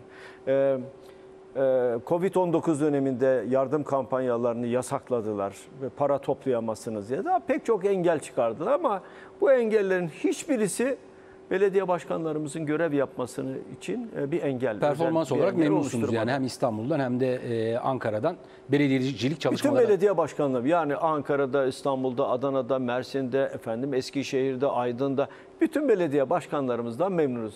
Ee, Karkamış'a kadar, bütün belediye Iğdır'a kadar, bütün belediye başkanlarımızdan memnunuz. Halk da çok memnun. Şunu yapıyoruz yalnız. Belediye başkanlarımız gerçekten başarılı mı diye sadece o bölgelerde özel çalışmalar da yapıyoruz. Ne sonuçlar çıkıyor? Gayet güzel. Gayet. Gayet, güzel evet. Peki e, o- oradaki icraat bizim e, bize de olumlu yansıyacak. Bizim de nasıl yönettiğimiz hakkında fikir verecek dediniz. Şimdi ekran başında e, e, yani günlük işte adaylık konusu, altılı masa vesaire bir Evet. yana. Ekran başındaki izleyicilerimize siz e, e, olura iktidarı kazanırsanız ilk 6 ay, ilk 100 gün hep denir ya. Evet. Nereden başlayacaksınız? Ya da bu somut e, ortaklaştığınız altılı masadaki bu somut yapacaklar listesini ne zaman duyuracaksınız? Ne zaman paylaşacaksınız? Şimdi parti olarak bizim e, görüşlerimiz var zaten. Örneğin ilk bir hafta içerisinde biz e, tarım kredi ve bankalara olan çiftçilerin borçlarının faizi sileceğiz bir hafta içinde. Esnafın da bankalara olan ve esnaf kefalet kooperatifine olan e, borçlarının faizlerini sileceğiz. E, bunu deklare ettik. E, e, Süleyman Şah Türbesi'ni tekrar e, kendi topraklarımıza götüreceğiz. Ya bir de ya çok özür dileyerek ifade edeyim. Ya ilk kez Cumhuriyet tarihi boyunca kendi toprağımızı terk ettik ya. Bir de bunlar kahramanlık diyorlar. Ne kahramanlığı Allah aşkına ya. Kendi toprağını nasıl bırakırsın ya? Kendi bayrağını nasıl indirirsin ya? Süleyman Şah Türbesi'ni nasıl kaçırırsın ya? Ya insan orada hayatını verir, canını verir ya. Bir de bizi suçluyorlar. Bir de kalkıyorlar kahramanlık taslıyorlar. Ya Allah akıl fikir versin bunlara. Nasıl bir anlayıştır ve nasıl bu kadar yalanı üst üste getiriyorlar, kahramanlık edebiyatı yapıyorlar. Merkez Bankası'nın başkanlığı gerçekten de içeride ve dışarıda güven veren e, birisini getireceğiz. Devlette liyakat dediğimiz sağlayacağız. İlk bir hafta içerisinde Ekonomik ve Sosyal Konseyi toplayacağız. Zaten Ekonomik Sosyal Konseyi işlev kazandıracağız. Sorunları alacağız. Bakanlar bir tarafta, Ekonomik Sosyal Konsey üyeleri bir tarafta. Sorunları nasıl çözüleceğini anlatacağız. Onlar yaşadıkları sorunları anlatacaklar. Buna benzer düşüncelerimiz var ve biz bunları paylaştık. Bunların bir kısmını Altılı Masa'da evet dedi. Ekonomik Sosyal Konsey'in kurulması. Hasar Tespit Komisyonu mesela yine e- Ekonomik Sosyal Konsey'in bir önerisiydi. Yani önce biz bir hasar tespit komisyonu kurmamız lazım. Yine biz e, planlama teşkilatı kuracağız diyorduk. Altılı Masa strateji oluşturma ve planlama teşkilatı kuralım diye ismin böyle olması lazım. Düşündük doğru. Aynı zamanda planlama örgütünün bir stratejisinin de olması lazım. Nasıl büyüyeceğiz, nasıl kalkınacağız, kaynaklar nerelere, nasıl harcanacak diye. Buna benzer uygulamaları yapacağız. Ve her şeyden önemlisi yaptığımız her adımın, attığımız her adımın hesabını millete vereceğiz. Bir şey yapamadıysak niye yapamadığımızı çıkıp anlatmamız lazım. Öyle kahramanlık edebiyatına gerek yok. Eğer siz topladığınız her kuruşun hesabını millete vermiyorsanız siz yolsuzluk yapanlara cesaret veriyorsunuz demektir.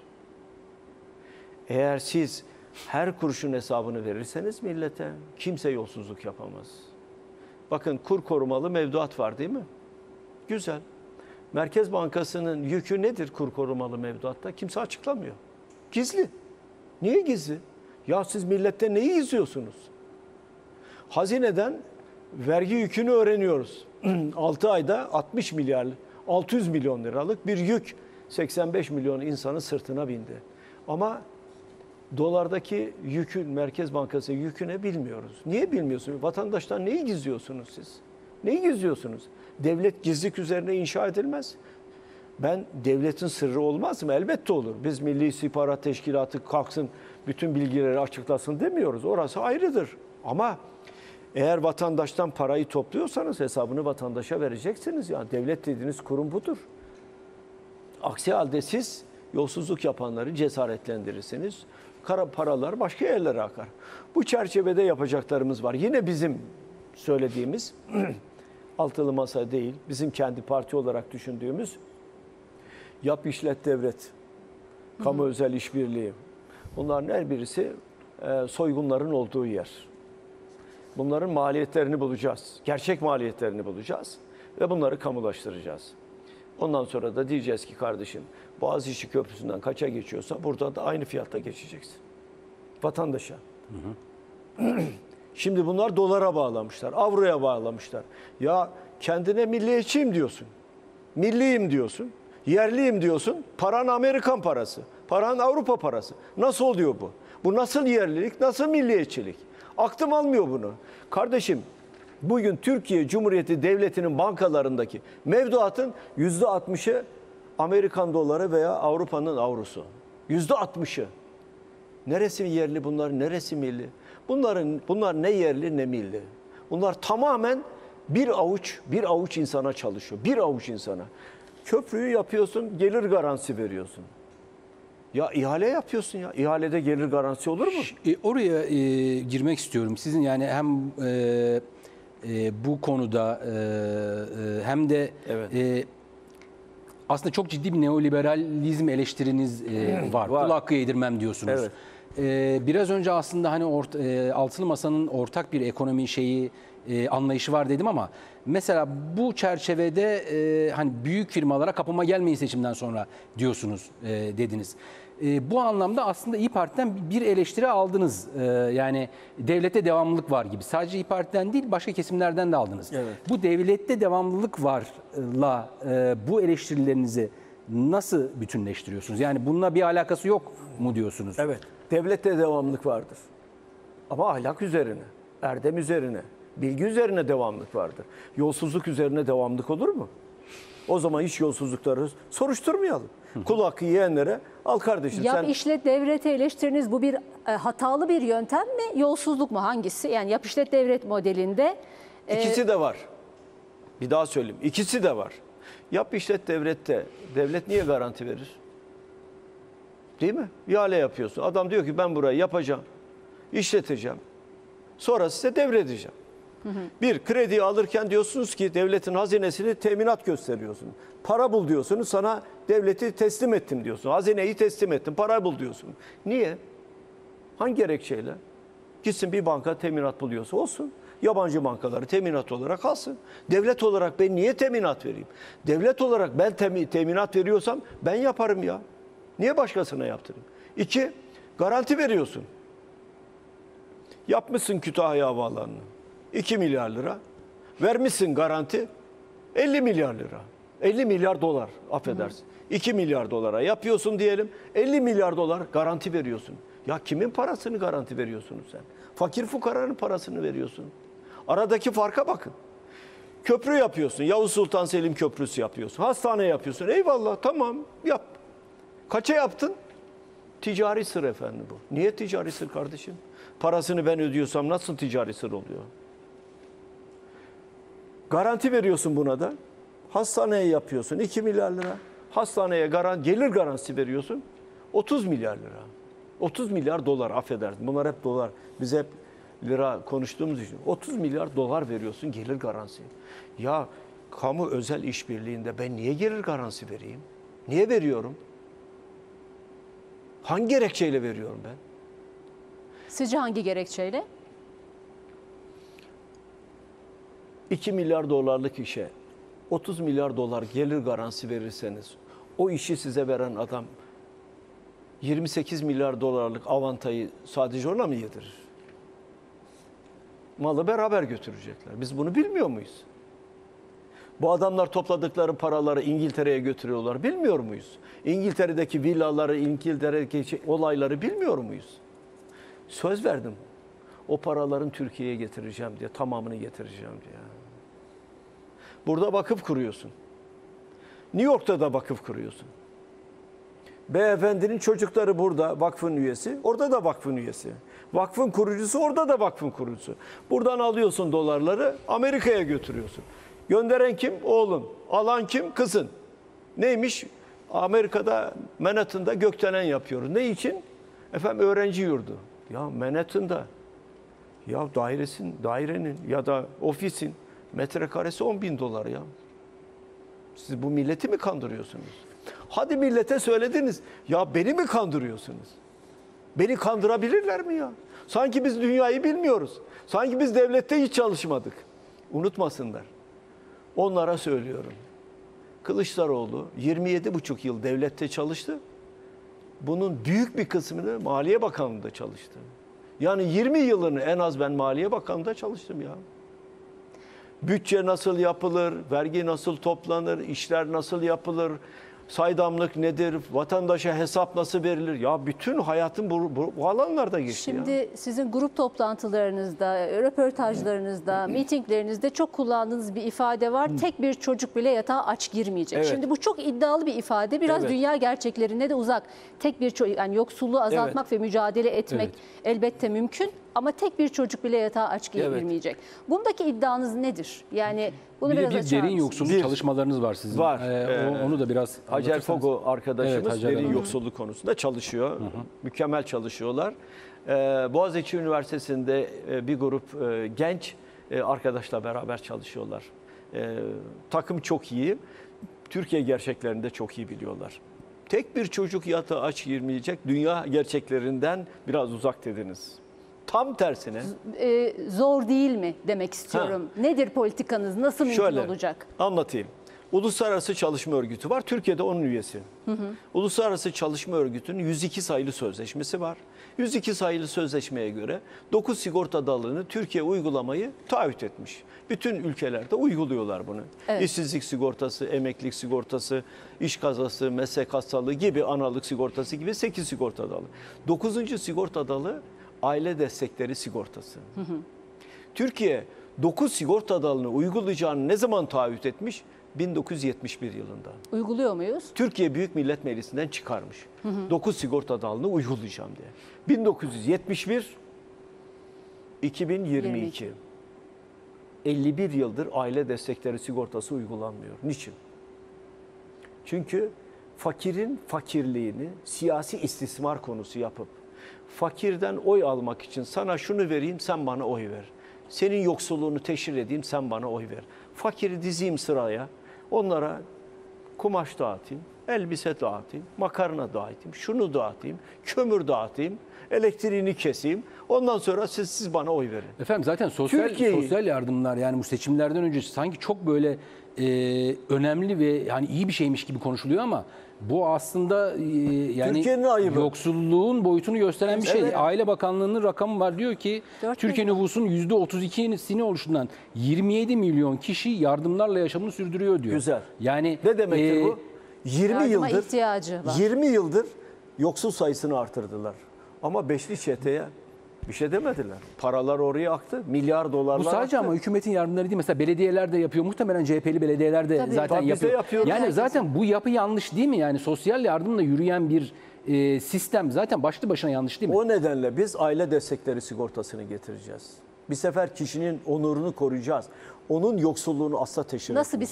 sigorta bu? Kısaca, Efendim? e, Kısaca izah şöyle, ederseniz. aile destekleri sigortası bu herhangi bir prim toplamıyor. Belli bölgelerde tıpkı nasıl aile hekimleri varsa e, sosyal hizmet uzmanları var. Belli sayıda ailenin durumunu gözlüyor. Evde kaç kişi var, engelli var mıdır, yaşlı var mıdır, kadın çalışıyor mu, çalışmıyor mu, çocuklar okula giden kaç öğrenci var, ailenin elde ettiği gelir nedir, bu gelir onun geçirmesine ye- yeterli mi değil mi? Yeterli değilse raporunu düzenliyor. Sosyal devlet ona her ay düzenli kadının bankası, biz kadının diyoruz. Batı'da e, kişinin de yani evin aile reisinin de hesabına reisi. yatıyor. Biz kadının banka hesabına yatıracağız parayı. Kadın gidecek düzenli aylığını alacak. Yeni bir çocuk olursa aile hemen sosyal hizmet uzmanı yeni bir rapor yazacak. 100 lira veriyorsak 150 lira vereceğiz. 1000 lira veriyorsak 1100 lira vereceğiz. Çocuk üniversiteye gidiyorsa yurt ücretsiz olacak. E, burs verilecek bu çocuğa. Çocuğun eğitim için her türlü imkan sağlanacak. Evde engelli var ve anne çalışamıyor ve engelliye bakmak zorundaysa engellini e, ailede kadının e, sosyal güvenlik primini devlet yatıracak. Zamanı gelince onun da emeklilik hakkı olacak ve o da emekli olacak.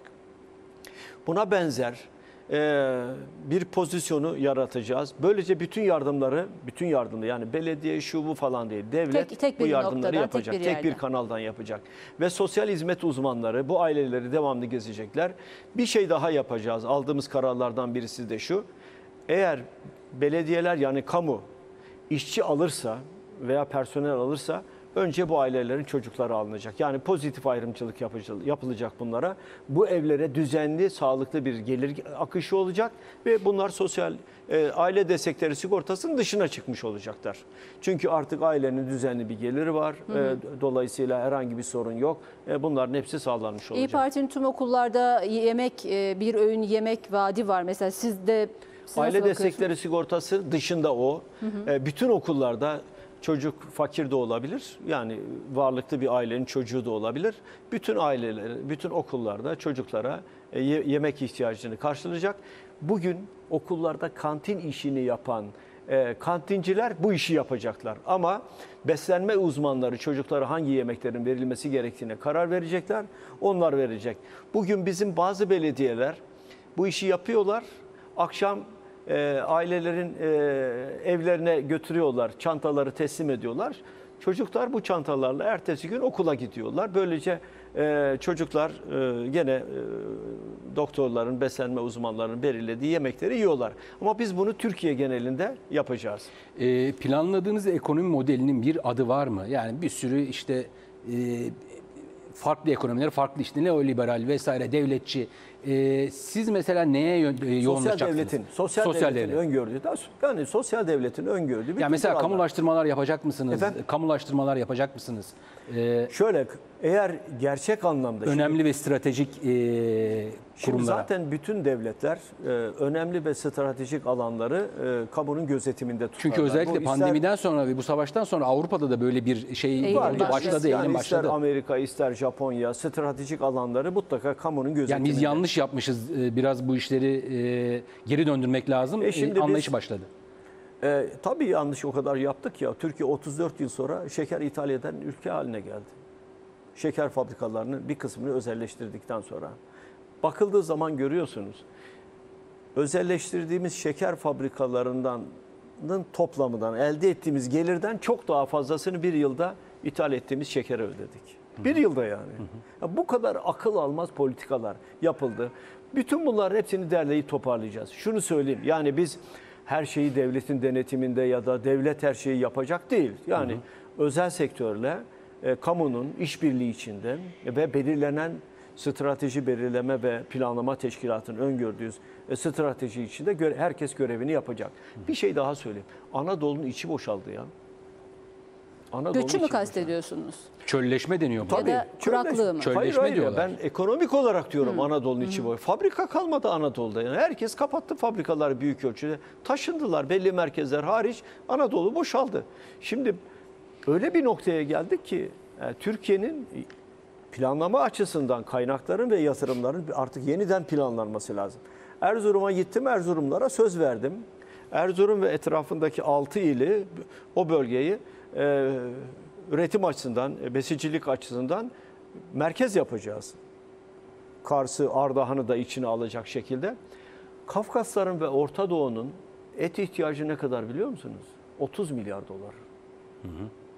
Siz 30 milyar doların 10 milyar dolarını Türkiye'ye kazandırabilseniz hem o bölgede müthiş güçlü bir üretim olacak.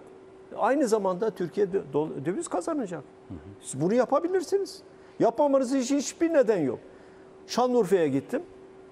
Şanlıurfalılara söyledim. Bize Büyükşehir Belediye Başkanlığı'nı verin Şanlıurfa'ya. Bütün çiftçilere elektriği ücretsiz vereceğiz. Vereceğiz de. Ya dışarıdan doğalgaz alıyorsun dolarla. Kömür alıyorsun dolarla. Doğa şey alıyorsun, e, elektrik alıyorsun. Onu da paraya ödüyorsun. Hepsi dolarla. Peki. Akaryakıt alıyorsun dolarla. Ya Allah'ın güneşi bedava ya. Evet. Paneli yapacaksın. Panelleri elektriği elde kooperatif halinde yapacağız. Onu da söyledim çiftçi arkadaşlarıma. Kooperatif halinde ge- getireceğiz. Onlar örgütlenecekler. Kooperatif kurulacak. Biz güneş santrallerini kuracağız. Kooperatif işletecek. E, çiftçiye bedava verecek. Artan elektriği enterkonnekte sistem içinde satıp parayı alacak. Peki ekonomik verilerde sığınmacıların etkisi ne orandadır sizce? Şöyle ucuz işçi olarak kullanılıyor. Ucuz işçi olarak. Asgari ücretin yarısına çok düşük ücretlerle saat kavramı olmadan çalıştırılıyor. Sigortasız çalıştırılıyor. Yani bir anlamda kölelik düzeni var. Buradan Türkiye Türkiye'yi bu ayıptan bir sefer kurtarmamız lazım. Hadi bir gene bir bakandı galiba. Bunlar giderse sanayi çöker dedi. Niye çöksün ya? Ya kendi ülkesinde kendi, kendi ülkesinin değerini bilmiyor yani. Kendi ülkesini kötülüyor.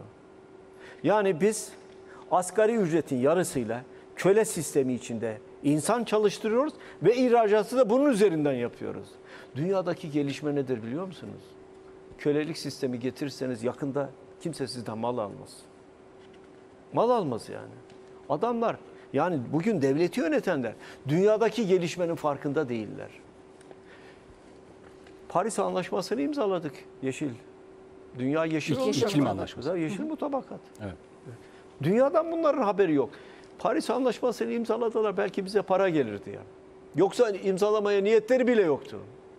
Türkiye'yi bu cendereden çıkarmamız lazım. Türkiye gerçek anlamda Avrupa Birliği'nin öngördüğü bütün demokratik standartları kendi ülkesine getiren, çağdaş, üretim yapan, insanların hakkını hukukunu teslim eden bir ülke haline gelmek zorundadır. Ee, Bilgi üreten, bilim üreten bir ülke haline gelmek zorundadır. Bunlar yapamazlar. Yapma şansları yoktur. Çünkü böyle bir birikimleri yoktur. Var olan bütün birikimleri tükettiler. Satmadıkları hiçbir şey kalmadı. Satmadıkları. En sonunda tak palet fabrikasını da sattılar Katarlara. Şimdi vatandaşlığı satıyorlar. İşte dolarla bir daire alırsan sana vatandaşlık Siz iktidarda verirler. olsaydınız kaldırır mıydınız bu Efendim? uygulamayı? Elbette. Hiç öyle.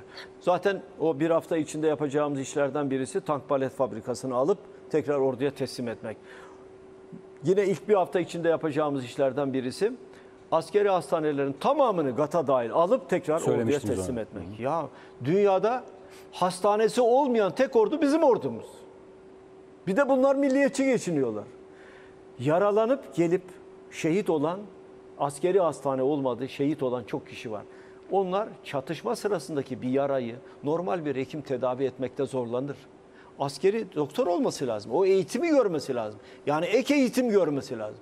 Bütün bunları kapattılar, yok ettiler. Yani adeta hani cumhuriyete düşmanmış gibi, adeta cumhuriyetin yaptığı kazanımlara düşmanmış gibi nasıl yok ederiz diye bu arayış içine girdiler. Maalesef bu noktaya Ee, geldik. sığınmacılara- sığınmacılara- Karamsar değilim.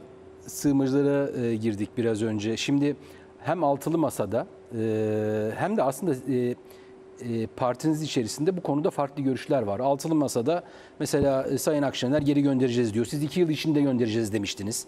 E, ama işte Sayın Davutoğlu dönmelerini beklemek zor diyor. Sayın Babacan göndermek mümkün değil diyor. Bunlar eski açıklamalar olabilir, yenilemiş olabilirler. Dönelim sizin partinize. Mesela Sayın Tunç Soyer birlikte yaşamak zorundayız, bunu öğretmek zorundayız diyor. Veya e, Bolu Belediye Başkanı e, Sayın Tanju Özcan e, zaten e, ne düşündüğü, ne yaptığı e, belli. E, gelinen aşamada e, siz sığınmacıların geri gönderilmesi konusunda hala aynı fikirde misiniz? Bunu nasıl yapacaksınız? Ve parti içindeki bu farklı görüşler veya altılı masadaki bu farklı görüşler bu işi zorlaştırmayacak mı? Şöyle bir sefer altı partide sığınmacıların insani koşullarda Suriye'ye dönmelerini istiyorlar zaten. Yani İnsani hiçbir- koşullar tırnak tırnağı içerisinde herkes istiyor ama Şimdi işte bu insani koşullar Herkes ne? istemiyor. Erdoğan istemiyor mesela. Erdoğan istemedi. Burada kalacaklar dedi. Sonra ısrar olunca belki de öyle di- diyor bazen e, gazetelerde haberde. Kamuoyu yoklaması sonucunda Suriyelilerin gitmesi gerektiği yönde bir eğilim olunca biz de gönderelim dediler. Bunlar gönderemezler. Göndermek istemezler. Çünkü köle gibi Suriyelileri çalıştırmak istiyorlar. Biz öyle değil. Biz Türkiye'nin saygınlığını korumak istiyoruz. İnsani koşullarda ırkçılık yapmadan bu insanları kendi ülkelerine göndermeliyiz. Burada insani koşullarda kendi ülkelerine gönderme konusunda hiçbir fark, şey, görüş farkımız yok. Nedir insani koşullarda gönderme? Şimdi bir, önce Türkiye ile Suriye büyükelçiliklerini açacağız. Yani Türkiye buradan Suriyelileri gönderecekse meşru bir organla muhatap olmak zorundadır. Meşru organ onların şu anda hükümet olan organ. Daha önce CHP'liler gidip görüşmüştü. Yakın zamanda öyle bir şey oldu mu? Şu Yani- anda hayır. Şu anda hayır ama yani görüşülebilir. Niye görüşülmesin? Ama önemli olan hükümetin bu görüşmeyi sağla. Yani meşru organların bu görüşmeyi sağla. bir normalleşme Yap- süreci olabileceği söyleniyor son evet. dönemde. Yolu açıldı. Tekrar e, Suriye rejimiyle Tabii. e, normalleşme yolunda Kim görüşmelerin söyledi? Kim başlayabileceği. söylediği için? e, Putin Siz- söylediği için. Benim dediğim için değil. Putin söyledi. Görüşeceksin dedi. Tıpış tıpış gidip görüşecek. Niçin? Kendisine ta en baştan yanlış olduğunu söyledim Suriye politikasının. Yapmadığı hakaret kalmadı. Yanlış yapıyorsunuz. Ya kardeşim 24 saat içinde gideceğim efendim Emevi Camii'nde namaz kılacağız. E buyur git kıl bakayım. Ne yaptın? Gidebildin mi gidemedin. E ne oldu? Sen oraya gidecekken 3 milyon 600 bin Suriyeli buraya geldi. Bu mudur başarı Allah aşkına? 33 askerimiz şehit oldu. Vuran Rusya'ydı. Nefesi nerede aldın? Putin'in orada. Ne yaptı? Kapının önünde bekletti seni. Kronometreyi, açtı. Kaç dakika Türkiye Cumhuriyeti Cumhurbaşkanlığını beklettiğini bütün dünyaya seyrettirdi. Ya sıkılmadan görüştü ve geldi. Ya şehit olan bizim askerimiz ya. Sen oraya niye gittin? Eğer birisi bir hesap verecekse, birisi sana bir bilgi verecekse açar telefonu bilgi verir. Oraya gittin. Daha buna benzer. Kendisine dedim ki Suriye ile otur bir uluslararası Suriye konferansı düzenle. Kendisine bir önce nasıl düzenleyeceğiz dedi. Kendisine bir mektup yazdım. Suriye konferansının nasıl düzenlenmesi gerektiğini, içeriğinin ne olması gerektiğini oturduk yazdık. O zaman Dışişleri Bakanlığı'ndan, emekli bürokrat arkadaşlardan da bilgi alarak bunu yazdık gönderdik. Yapmadı. Sonra biz düzenledik. Biz düzenledik gene kıyameti kopardı. Şimdi Putin söyledi. Selamı çaktı. E niye görüşmeyelim diyor. E Sizce, düne kadar her e, türlü hakareti yap yapıyor. Rakamlar karışık. Ee, kaç milyon sığınmacı var sizce e, Türkiye'de? Yani kaçak göçmen hepsini Kaçak göçmen hepsi yani statüde Çünkü sığınmacı- mesela, e, mesela Ya Ümit Özdağ diyor ki on- 13 milyon diyor. Şimdi 10 milyonun altında değil. Yani E, o rakama yaklaştık Pakistan- o zaman Ümit Bey'in Yani söylediği. Yani Verilen rakamlar gerçek rakam. Çünkü 10 milyonun üstünde mi olduğunu düşünüyorsunuz? ya en toplam? az 10 milyondur. Yani Afganlı, Suriyeli, Afrikalılar var.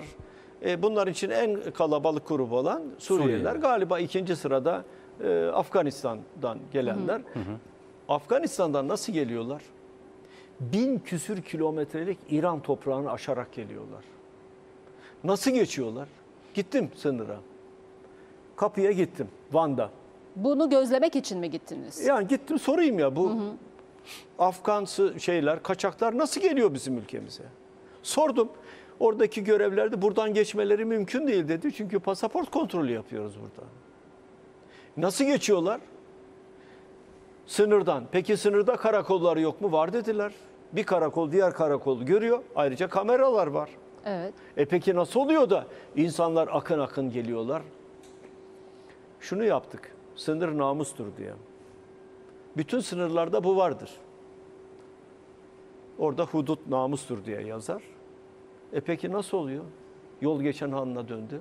Orada da bizi suçladılar. Van Gölü'ne gidin.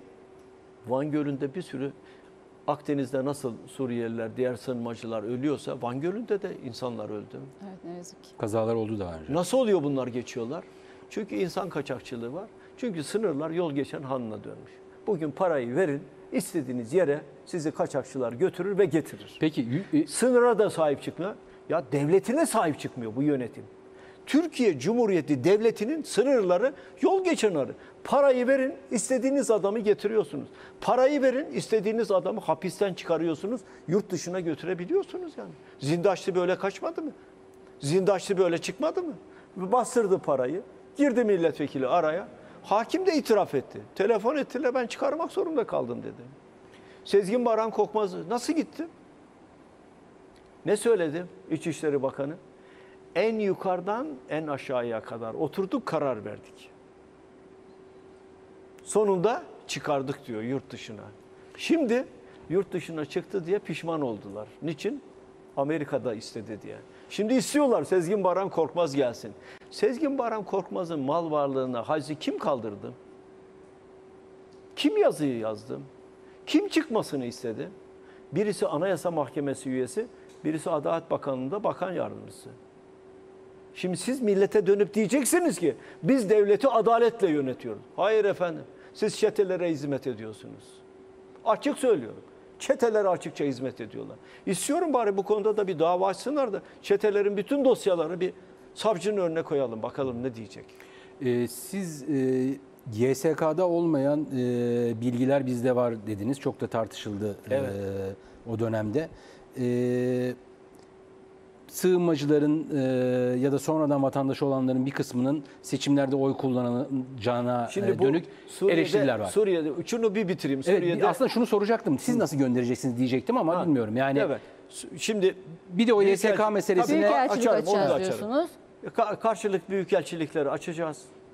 A- Ondan sonra onların evini, yolunu, okulunu hepsini yapacağız. Bizim müteahhitleri yapacak. Avrupa Birliği'nden alacağımız fonlarla bunu yapacağız. Avrupa Birliği'nin istediği sadece siz şeffaf olun. Parayı nereye harcadığınızı bize bildirin. Parayı nereye harcadığımızı bildirirsek, şeffaf olursak onlar da istiyorlar ama zaten. %80'i dönmek istemiyoruz, dönmeyiz diyorlar. Şimdi O nasıl yapılacak? Oraya da geleceğim. Evet. Şimdi yolu var mı? Var. Okulu var mı? Var. Üç, can ve mal güvenliğini sağlamamız lazım. Yani bunlara tekrar yeniden bir saldırının olmaması lazım. Can ve mal güvenliğini sağlayacaksın. Kıbrıs'taki gibi. Nasıl? Kıbrıs'ta yıllardır tam bir huzuru var. Başka? Onlara iş yeri yaratacaksınız. Bizim Gaziantep'li iş adamlarımızın orada çok güzel fabrikaları vardı. Diyeceksiniz ki o fabrikaları yeniden çalıştırın. Sizden tek istediğimiz kazandığınız dolarları Türkiye'ye getirin. Bu kadar basit. Ha bu neden iki yıl diyoruz? Bunların yapılması belli bir zaman aldığı için. Bakın biz akılcı politikalarla yapıyoruz. Öyle bindireceğiz otobüse bunları göndereceğiz. O olmaz. Şimdi o Türkiye'nin saygınlığına zarar verir. Türkiye'nin itibarına zarar verir. Türkiye demokratik bir ülkedir. Türkiye insan haklarına saygılı bir Ne ülkedir. kadarını bu- Türkiye ırkçılık yapamaz. Ben gönderebileceğinizi düşünüyorsunuz. Efendim? Ne kadarını sığınmacıların ben bu konuda bunları açıkladıktan sonra İstanbul'dan bana Suriye'den gelen, kaçan gelen bazı parti liderleri, kadın örgütleri, sivil toplum örgütleri beni davet ettiler. Dediler ki bizi nasıl göndereceksiniz? Biz gitmeyiz. Anlattım size anlattığım gibi. Böyle yaparsanız hiçbirimiz burada kalmayız. Hepimiz gideriz kendi ülkemize. Dediler size. Burada aç geziyoruz dediler. Siz Esad'la görüşmeye gider misiniz? Efendim? Esad'la görüşmeye gider misiniz? Niye gitmeyeyim? Yani ya da planlıyor musunuz böyle yani bir şey diye şey sorayım. olursa yani inşallah geleceğiz iktidara. Bütün sorunları çözeceğiz. Esad'la da görüşeceğiz. Bakın Orta Doğu halkları bizim akrabamız. Orada Kürtler var, bizde de var. Araplar var, bizde de var. Ezidiler var, bizde de var. Türkmenler var. E zaten bizler de Türküz. Şimdi Orta Doğu halklarıyla niye kavga ediyoruz? Neden birbirimizi öldürüyoruz? Egemen güçler silah satsın diye. Türkiye neden bu tuzağa düşüyor? Neden birilerinin talimatıyla iş yapıyor? Neden Erdoğan çıktı?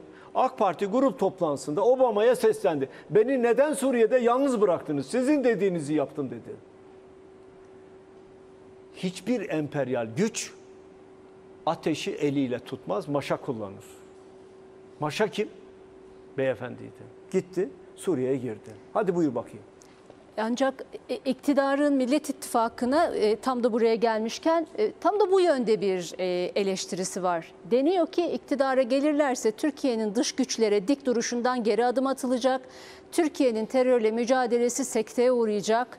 Yani e, muhalefet ne kadar milli politikalar izleyecek, terörle mücadelemiz şaşacak mı? Türkiye'nin dünyadaki iddiası, kararlılığı e, Özellikle azalacak mı? tezkereye verdiğiniz hayır oyundan sonra. İşte çünkü buna da bir çok- gerekçe olarak işte tezkereye hayır oyu vermeniz Güzel. gösteriyor. Buna ne de diyorsunuz? Tezkere hayır oyu niye verdiniz diyenlere sorayım. Yabancı bir ülkenin askerlerinin terörle mücadele etmesi için Türkiye'ye gelmesine evet diyorlar mı demiyorlar mı? Evet diyorlarsa tezkere evet desinler. Hayır diyorlarsa bizim gibi milliyetçilerse ben kendi ülkemde yabancı bir asker postalını istemiyorum diyorsa o tezkere hayır doğmak, demek zorundadır. Bahçeli'ye sordum. Grup toplantısında sordum. Sen terörle mücadele konusunda yabancı bir askerin Türkiye'ye gelmesine neden evet diyorsun? Cevap verdi mi? Vermedi. Erdoğan'a sordum. Hangi gerekçeyle getirdin sen bunu? Tık yok. Ama gidiyorlar işte tezkereye hayır. O terörle zaman bundan mücadele- sonraki bütün terörle tezkerelere hayır mı diyeceksiniz? Efendim? Bu o zaman bundan sonraki bütün tezkerelere hayır mı diyeceksiniz? Onu mu anlamamız lazım? Her elbette. Ben kendi ülkemde yabancı asker istemem. Kimse kusura bakmasın. Ben onlar gibi milliyetçi değilim. Benim milliyetçiliğim vatan ve bayraktır. Şimdi burada da İyi Parti'nin evet demesi ve sizin hayır demeniz üzerinden Ben- bir fikir ayrılığı Bu- olduğu yorum O ayrı yapılıyor. bir şey. O ayrı bir şey. Ama ben iktidar mensuplarına söylüyorum. Evet. Ben kendi ülkemde yabancı asker istemiyorum arkadaş ya. Benim bugüne kadar terörle mücadeleyi kim yaptı? Bu ülkenin polisi yaptı. Bu ülkenin askeri yaptı. Bu ülkenin askeri ve polisi şehit olurken yabancılar mı vardı yanında? Yabancı askerler mi vardı yanında? Yani Türkiye Cumhuriyeti'nin polisi ve askeri terörle mücadele edemiyor mu yani? Yabancıyı isteyeceğiz buraya. Yabancıyı hangi gerekçeyle istiyorsunuz? Peki yurt, yurt dışından sınırlardan gelen terör tehdidine karşı bu tezkereler eee, çıkarılıyor. buna Efendim, buna karşı 50 mısınız? tane yani? gerekçe yazabilirler. Ama ben tezkerede yazıyorsa gerekirse yabancı askerler diye kimse kusura bakmasın. Sizin itirazınız bunaydı. Efendim, Çünkü ben- seçim sonrasında devam edecek olmasına yönelik bir itiraz nedeniyle evet denmedi diye hatırlıyorum. Yanlış mı Bu hatırlıyorum? ülkenin insanları terörle mücadele eder. Ayrıca oradan terör geliyorsa yabancı bir ülkeden sizin tezkere çıkarmanıza da gerek yok. Çünkü siz istediğiniz zaman Birleşmiş Milletler'in kararı var. Terör nereden geliyorsa gider. Uyarırsınız. Kardeşim terörü kes. Kesmezsen ben gider keserim. Biz Irak'ta öyle yapmadık mı? Öyle yaptık. Şu an Türkiye... Şimdi Pardon, siz buyurun. tezkereyi başkalarını davet etmenin yolu için çıkarıyorsunuz. Terörle mücadele değil aslında. İşin özünde yatan bu. Neden or- oraya Kimi nereye davet ed- etmek amacıyla? Efendim? Kimi nereye? Yani yabancı askerlik bunu biraz açar mısınız E ben bilmiyorum. Tezkerede isim vermiyor ki şu ülke Evet. diye. Yabancı asker. Hangi yabancı? Onu da sordum. Hangi yabancı askeri terörle mücadele konusunda Türkiye'ye davet edeceksin? E bir et bir görelim bakalım. Etmiyorsanız bunu niye tezkereye yazıyorsunuz? Ama hiçbir tezkereden sonra böyle bir şey gerçekleşmedi ki zaten. Yani yabancılar gelip O zaman niye asker- yazıyorlar tezkereye? Niye yazıyorlar? E sorun gazetecisiniz. Ya bunu niye yazdınız buraya? Televizyoncusunuz bunu açın bir tartışmaya deyin ki bu yabancı askerler konusu var bu tezkerede. Bu AK Partililer geliyor. AK Parti gibi duran gazeteciler de geliyor. Aslında onlar gazeteci değil. Onlar da AK Parti'nin silah şöyle. Onlar da geliyor. Onlara sorun. Deyin ki bu tezkerede bu yabancı askerler kim acaba? Siz bunu daha iyi bilirsiniz. Kılıçdaroğlu bu tezkere hayır dedi. Gerekçesi de bu. Siz buna hangi gerekçe ve diyorsunuz ki terörle mücadele istemiyor. Ya bu hangi yabancı asker geldi terörle mücadele etti? Hangisi geldi? Bakın bu soru sorulmuyor ve bu tartışılmıyor zaten. Bizim medyanın kimse kusura bakmasın en büyük eksiği bu. Tezkereye CHP hayır dedi. Demek ki CHP teröre evet diyor. Ya bu tezkereye CHP niye hayır dedi? Bari işte ise hayırın gerekçesini bir meclis tutanaklarından bir bakayım, bir okuyayım, bir göreyim denmiyor. AK Parti öyle dedi o zaman tamam kesinlikle bu böyledir CHP teröre evet diyor. Hayır efendim. Terörün kimden gelirse gelsin, nereden gelirse gelsin. Terör bir insanlık suçudur. Teröre karşı durmak da hepimizin ortak görevidir. Türkiye terörden çok büyük acılar çekmiştir ve bütün dünyanın da bunu bilmesi lazım. Türkiye'nin terörle mücadelesi de meşrudur. Peki Nokta. E, bu genel başlıklarda Doğu Akdeniz, Rusya ile ilişkiler, e, Avrupa Birliği ile, NATO ile son dönemde Tabii yürütülen Finland- ilişkiler Finlandiya ile ile İsveç'in farklı Efendim? bir politika izlenmesi mi gerekir Oraya sizce da yoksa geleceğim. şu an Tabii. atılan adımlar Tabii, doğru mu? Oraya da geleceğim ama bir soru daha vardı. Ee, Suriyeliler işte? Hayır efendim işte e, gelince e, dış politika değişecek bilmem ne olacak Evet, falan yani, işte. evet, evet. e, kazanımlarımız elde gidecek. Ne kazanımlar oldu? Doğu Akdeniz'de kazanım mı oldu? Doğu Akdeniz Gaz Forumu kuruldu. Filistin orada. Güney Kıbrıs Rum yönetimi orada. Suriye orada. İsrail orada. Mısır orada. Olmayan kim? Hayır, Türkiye Türkiye'nin Türkiye'nin işte Türk Rusya ve e, Burnumuzun dibindeki yer ikimiz yokuz. İki devlet yok orada.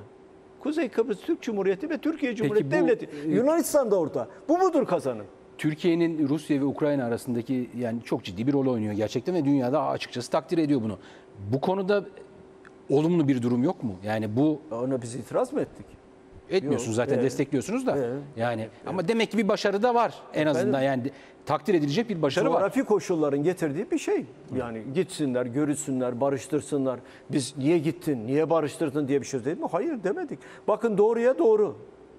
Yanlışa yanlış. Dünya lideri diyor. Ne lideri Allah aşkına ya? Ne lideri? Bir kişi, bakın Türkiye Cumhuriyeti Devleti'ni yöneten en tepedeki kişi mal varlığı dolayısıyla teslim alınmışsa Türkiye'ye hizmet edemez. Mümkün değil yani. Kalktı. Trump ne dedi? Bak dedi mal varlığını açıklarım dedi. Papazı ver. Verdi mi? E verdi bitti. Dünya lideri ne lideri ya? Böyle lider mi olur ya? Lider dediğiniz kişi mal varlığını açıkla dediği anda mal varlığımı açıklamazsanız namersiniz diyecek. O kadar. Nokta. Ben kendi halkıma sonuna kadar hesap veririm diyecek. Benim yurt dışında beş kuruşum yoktur diyecek. Ben bütün mal varlığım Türkiye'dedir diyecek. Diyebildi mi? E Demedi. Ne, ne, ne lideri? Kalkıyorlar. Efendim dünya lideri şöyle gezdi, böyle gezdi. Ya arkadaş Putin'in kapısına giden sensin. Yalvaran, yakaran sensin. 33 askerimiz şehit oldu bir şey diyemeyen sensin. Sonra kalkıyorsun ortalıkta büyük havalar atıyorsun. Yok efendim yemezler. Yemezler yani. Bunu bütün dünya görüyor. Bütün Yüksek, dünya biliyor Yüksek aslında. Seçim Kurulu'na ilişkin bir sorun vardı. Bu Evet, seçmen evet, bilgileri. evet. Burada Yüksek Seçim Kurulu, kişisel Evet. bilgilere Sizin, ulaşmayla ilgili bir e, Şimdi bakın endişeniz ne o konuda? Tabii. Onu sorayım. Bunlar, bunlar diyorum ya bunlar gerçekten devleti yönetemiyor. Bilmiyorlar. Devlet yönetimi nedir ya? Veri madenciliği diye bir kural, şey var, kavram vardı. Veri madenciliği. Madenciliği. Bunu da herhalde ilk sefer duyuyorlardır. Benden duyuyorlardır yani ya dinliyorlarsa. Veri madenciliği şudur. Dünya kadar veri olur ama o verilerin kullanışlı hale getirilmesi ayrı bir çabayı gerektirir. Özel bir çabayı gerektirir ve bu işi iyi bilmeyi gerektirir. Bize Yüksek Seçim Kurulu'ndan veriler geliyor. Bir kısmı yanlış. Örnek, 100 küsür yaşında bir adam ilk sefer oy kullanacak. Gelmiş. 100 küsür yaşına gelmiş. Valla 130 mu 140 mı şu anda hatırlamıyorum.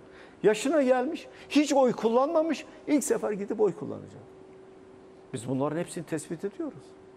Hemen arkadaşlarımızı gönderiyoruz. Gidin ya böyle bir adam var mı yok mu? Nasıl oldu da bugüne kadar hiç oy Peki kullanmadı? YSK düzenli olarak zaten yılda herhalde iki kere ya da seçim dönemlerinde e, iki kere tam rakamı hatırlamıyorum ama düzenli olarak zaten size bu verileri vermiyor mu? Veriyor ama zaten bak- alma hakkınız var sizin. E, yasaya göre Ki yani o kontrol Şimdi edip düzeltme hakkını da veriyor herhalde. Biz gelen bütün hatalı bilgileri kendimize göre tespit ediyoruz. O veri madenciliği de oturuyoruz. Ve YSK'ya bildiriyorsunuz zaten değil mi? Bildiriyor ve YSK bizim verdiğimiz verilere e, güveniyor ve hemen iptal ediyor. Evet. Tabii yani o nedenle diyorum.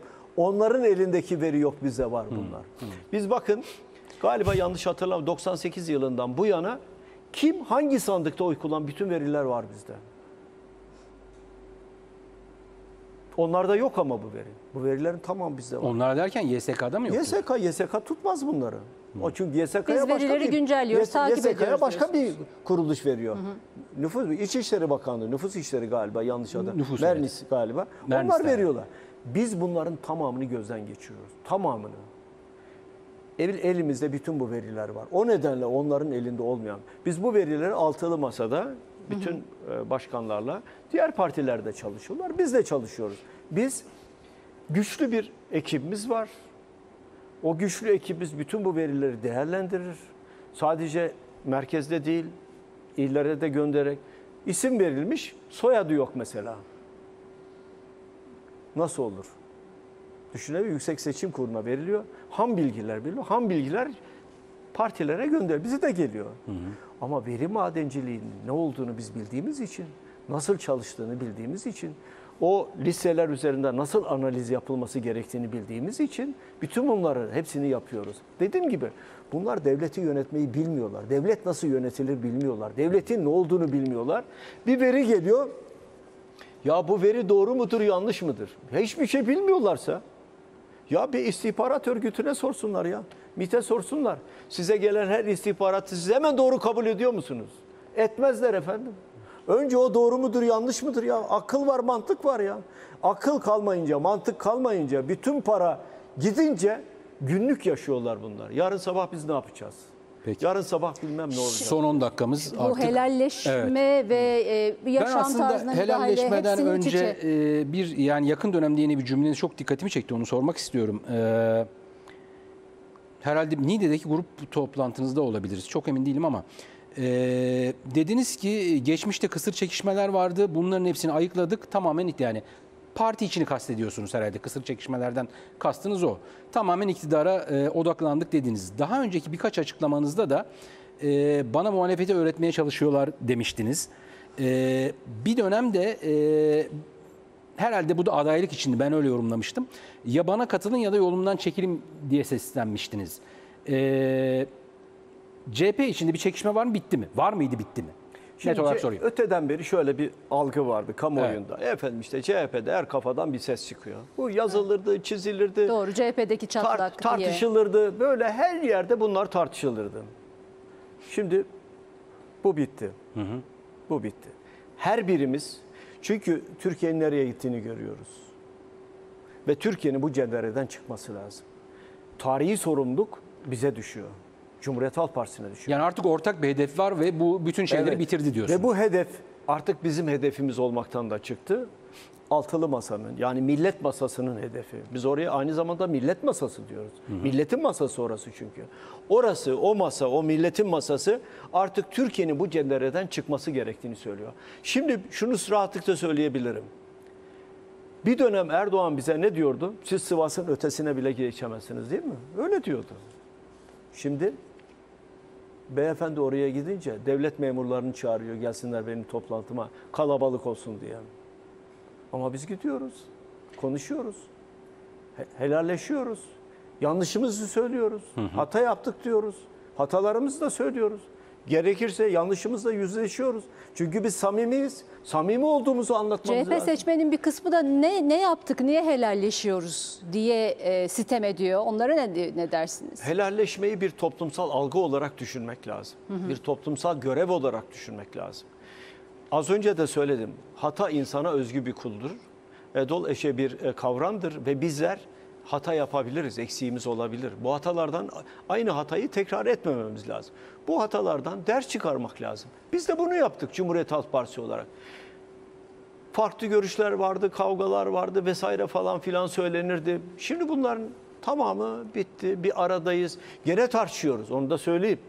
Yine kendi aramızda oturuyoruz, özgürce tartışıyoruz.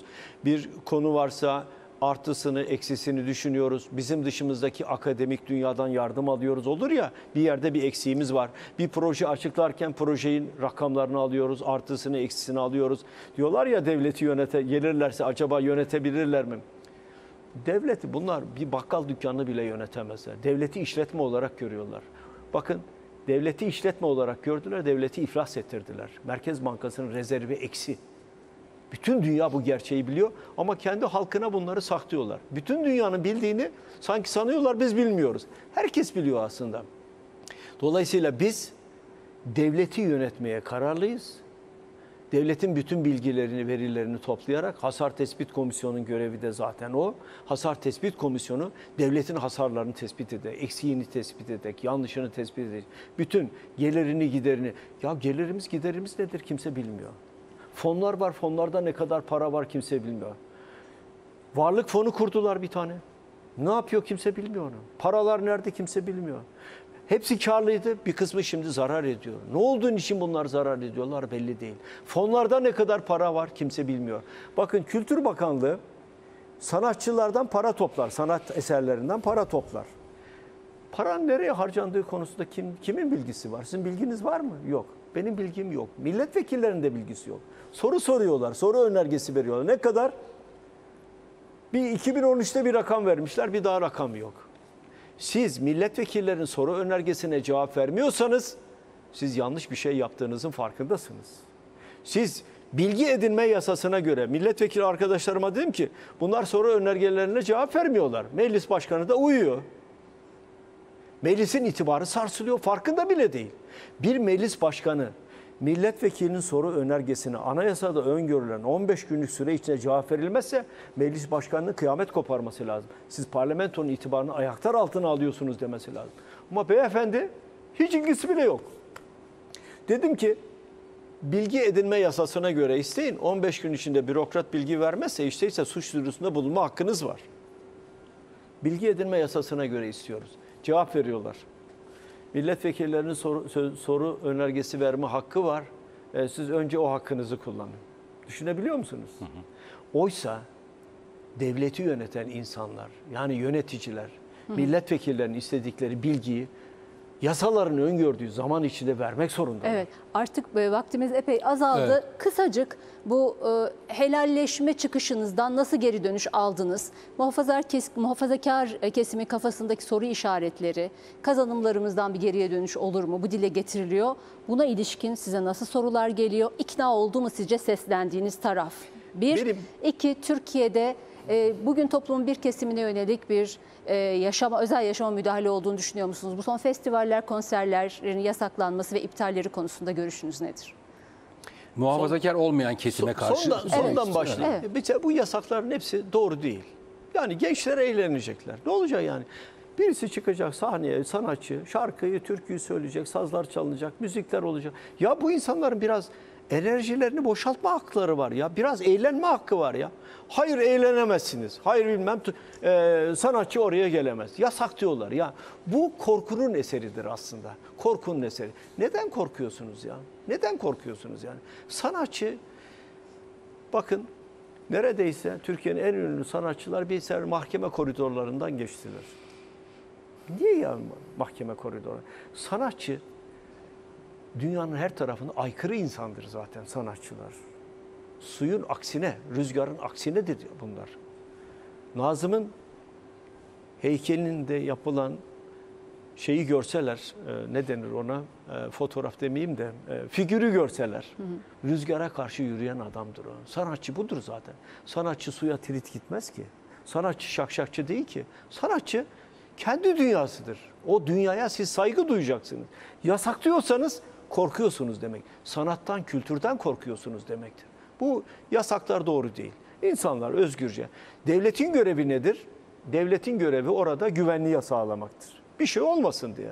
Devletin polisinin görevi de odur zaten.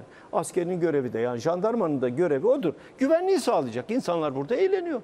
Siz yasaklıyorsunuz. Niçin? Korkudan. E korkunun necele bir faydası var mı? Yok. Gidecek misiniz? Evet gidecekler. Bu gençler gönderecek onları. Ben değil. Bu ülkenin gençleri gönderecek. 7 milyon 700 bin genç ilk kez sandığa Oy gidip kullanacak, oy kullanacak. Bu beyleri gönderecek. Ee, İkinci sorunuz helalleşme. Evet. Onu da Evet. söyleyeyim. Helalleşmeye düşündüğümden çok daha fazla olumlu tepki aldım. Onu söyleyeyim. Herkesle gittim, oturdum, konuştum. Gerçekten bu ülkenin kamplaşmaya değil. Ya bu ülkenin bir helalleşmeye ihtiyacı var. Siyaset kurumu o kadar böldü ki. Ya komşumuzun kimliğini sorgulamaya başladı. Ya sana ne kimliğinden? Komşumuzun inancını sorgulamaya başladı. Sana ne inancından? Komşumuzun yaşam tarzını sorgulamaya başladı. Sana ne?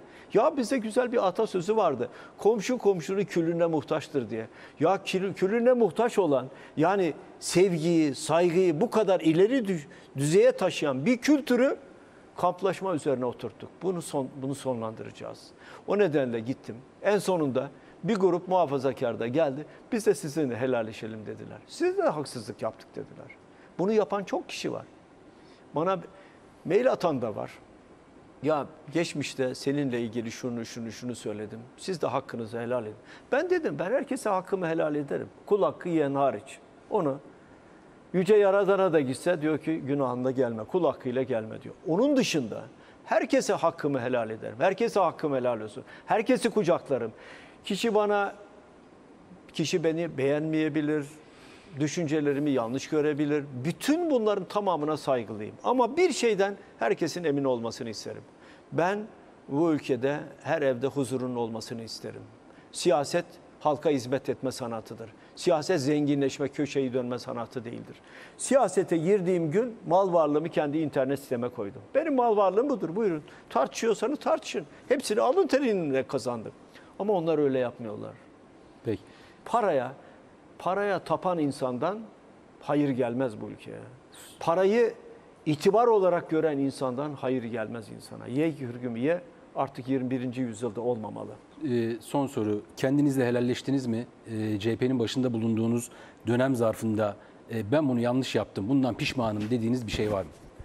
Ee, şu ana kadar pek ya hatırlamıyorum böyle bir soru gelmedi. Hiç- Ya da siyasi bir hata, şunu yanlış yaptım ben ama eksiğim- diyeceğiniz. Yani, Mesela Ekmelettin İhsanoğlu'nun e, aday gösterilmesi konusu. yo hayır. Yani orada- tamamen ka- kafamdaki şey e, Yo, yo, örneklerden Ekmelettin biri. Bey, Ekmelettin Bey Türkiye'nin en saygın insanlarından birisi. Adına uluslararası yar- e, yarışma yapılan, üstelik e, İtalya'da yapılan Ekmelettin İhsanoğlu yarışması en iyi kişi. E, kendi alanında dünyada tanınan, e, sevilen bir kişi. E, İslam İşbirliği Örgütü'nde görev alırken kadın hakları ile ilgili daire kuran kişi. Ekmelettin Bey'i anlatamadık. Belki Ekmelettin orada bizim eksiğimiz olabilir. Bizim kusurumuz olabilir. Ben hala kendisine e, zaman zaman telefonla ararım. Ona Sayın Cumhurbaşkanım diye hitap ederim. Gerçekten son derece saygın, kibar, düzgün, ahlaklı bir insan, bir bilim insanı. Dediğim gibi Türkiye'de fazla tanınmıyor ama Türkiye dışında çok daha fazla tanınan e, bir kişi. Bütün dünya bilim çevrelerinin kendi alanında saygı duyduğu bir kişi, kitaplarının büyük ölçüde referans olarak alındığı bir kişi. Türkiye keşke bu tür insanları yetiştirebilse. Peki, Peki. e, şöyle deniyor, bu seçim muhalefet e, adına söylüyorum. E, Çok kritik, çok önemli. O yüzden de e, adayın kim olacağı konusu da bir o kadar kritik. Adayı biz, e, siz ne zaman konuşacaksınız? Biz ne zaman öğreneceğiz? Onu gene e, altı lider kendi Dokuz ay kaldı aralarında. çünkü. Şimdi altı lider kendi aralarında oturup konuşacağız zaten. E, o konuşulur yani yeri zamana gelince oturulur, konuşulur. Seçim takvimi tartışılır. açıklandığında E, tabii, e, tabii e, yani diyorsunuz. olur yani. Evet. Evet. Ama şundan emin olmanızı isterim. Ee, seçeceğimiz e, Cumhurbaşkanı adayı Türkiye Cumhuriyeti Devleti'nin 13. saygın Cumhurbaşkanı adayı şey, Cumhurbaşkanı olacaktır.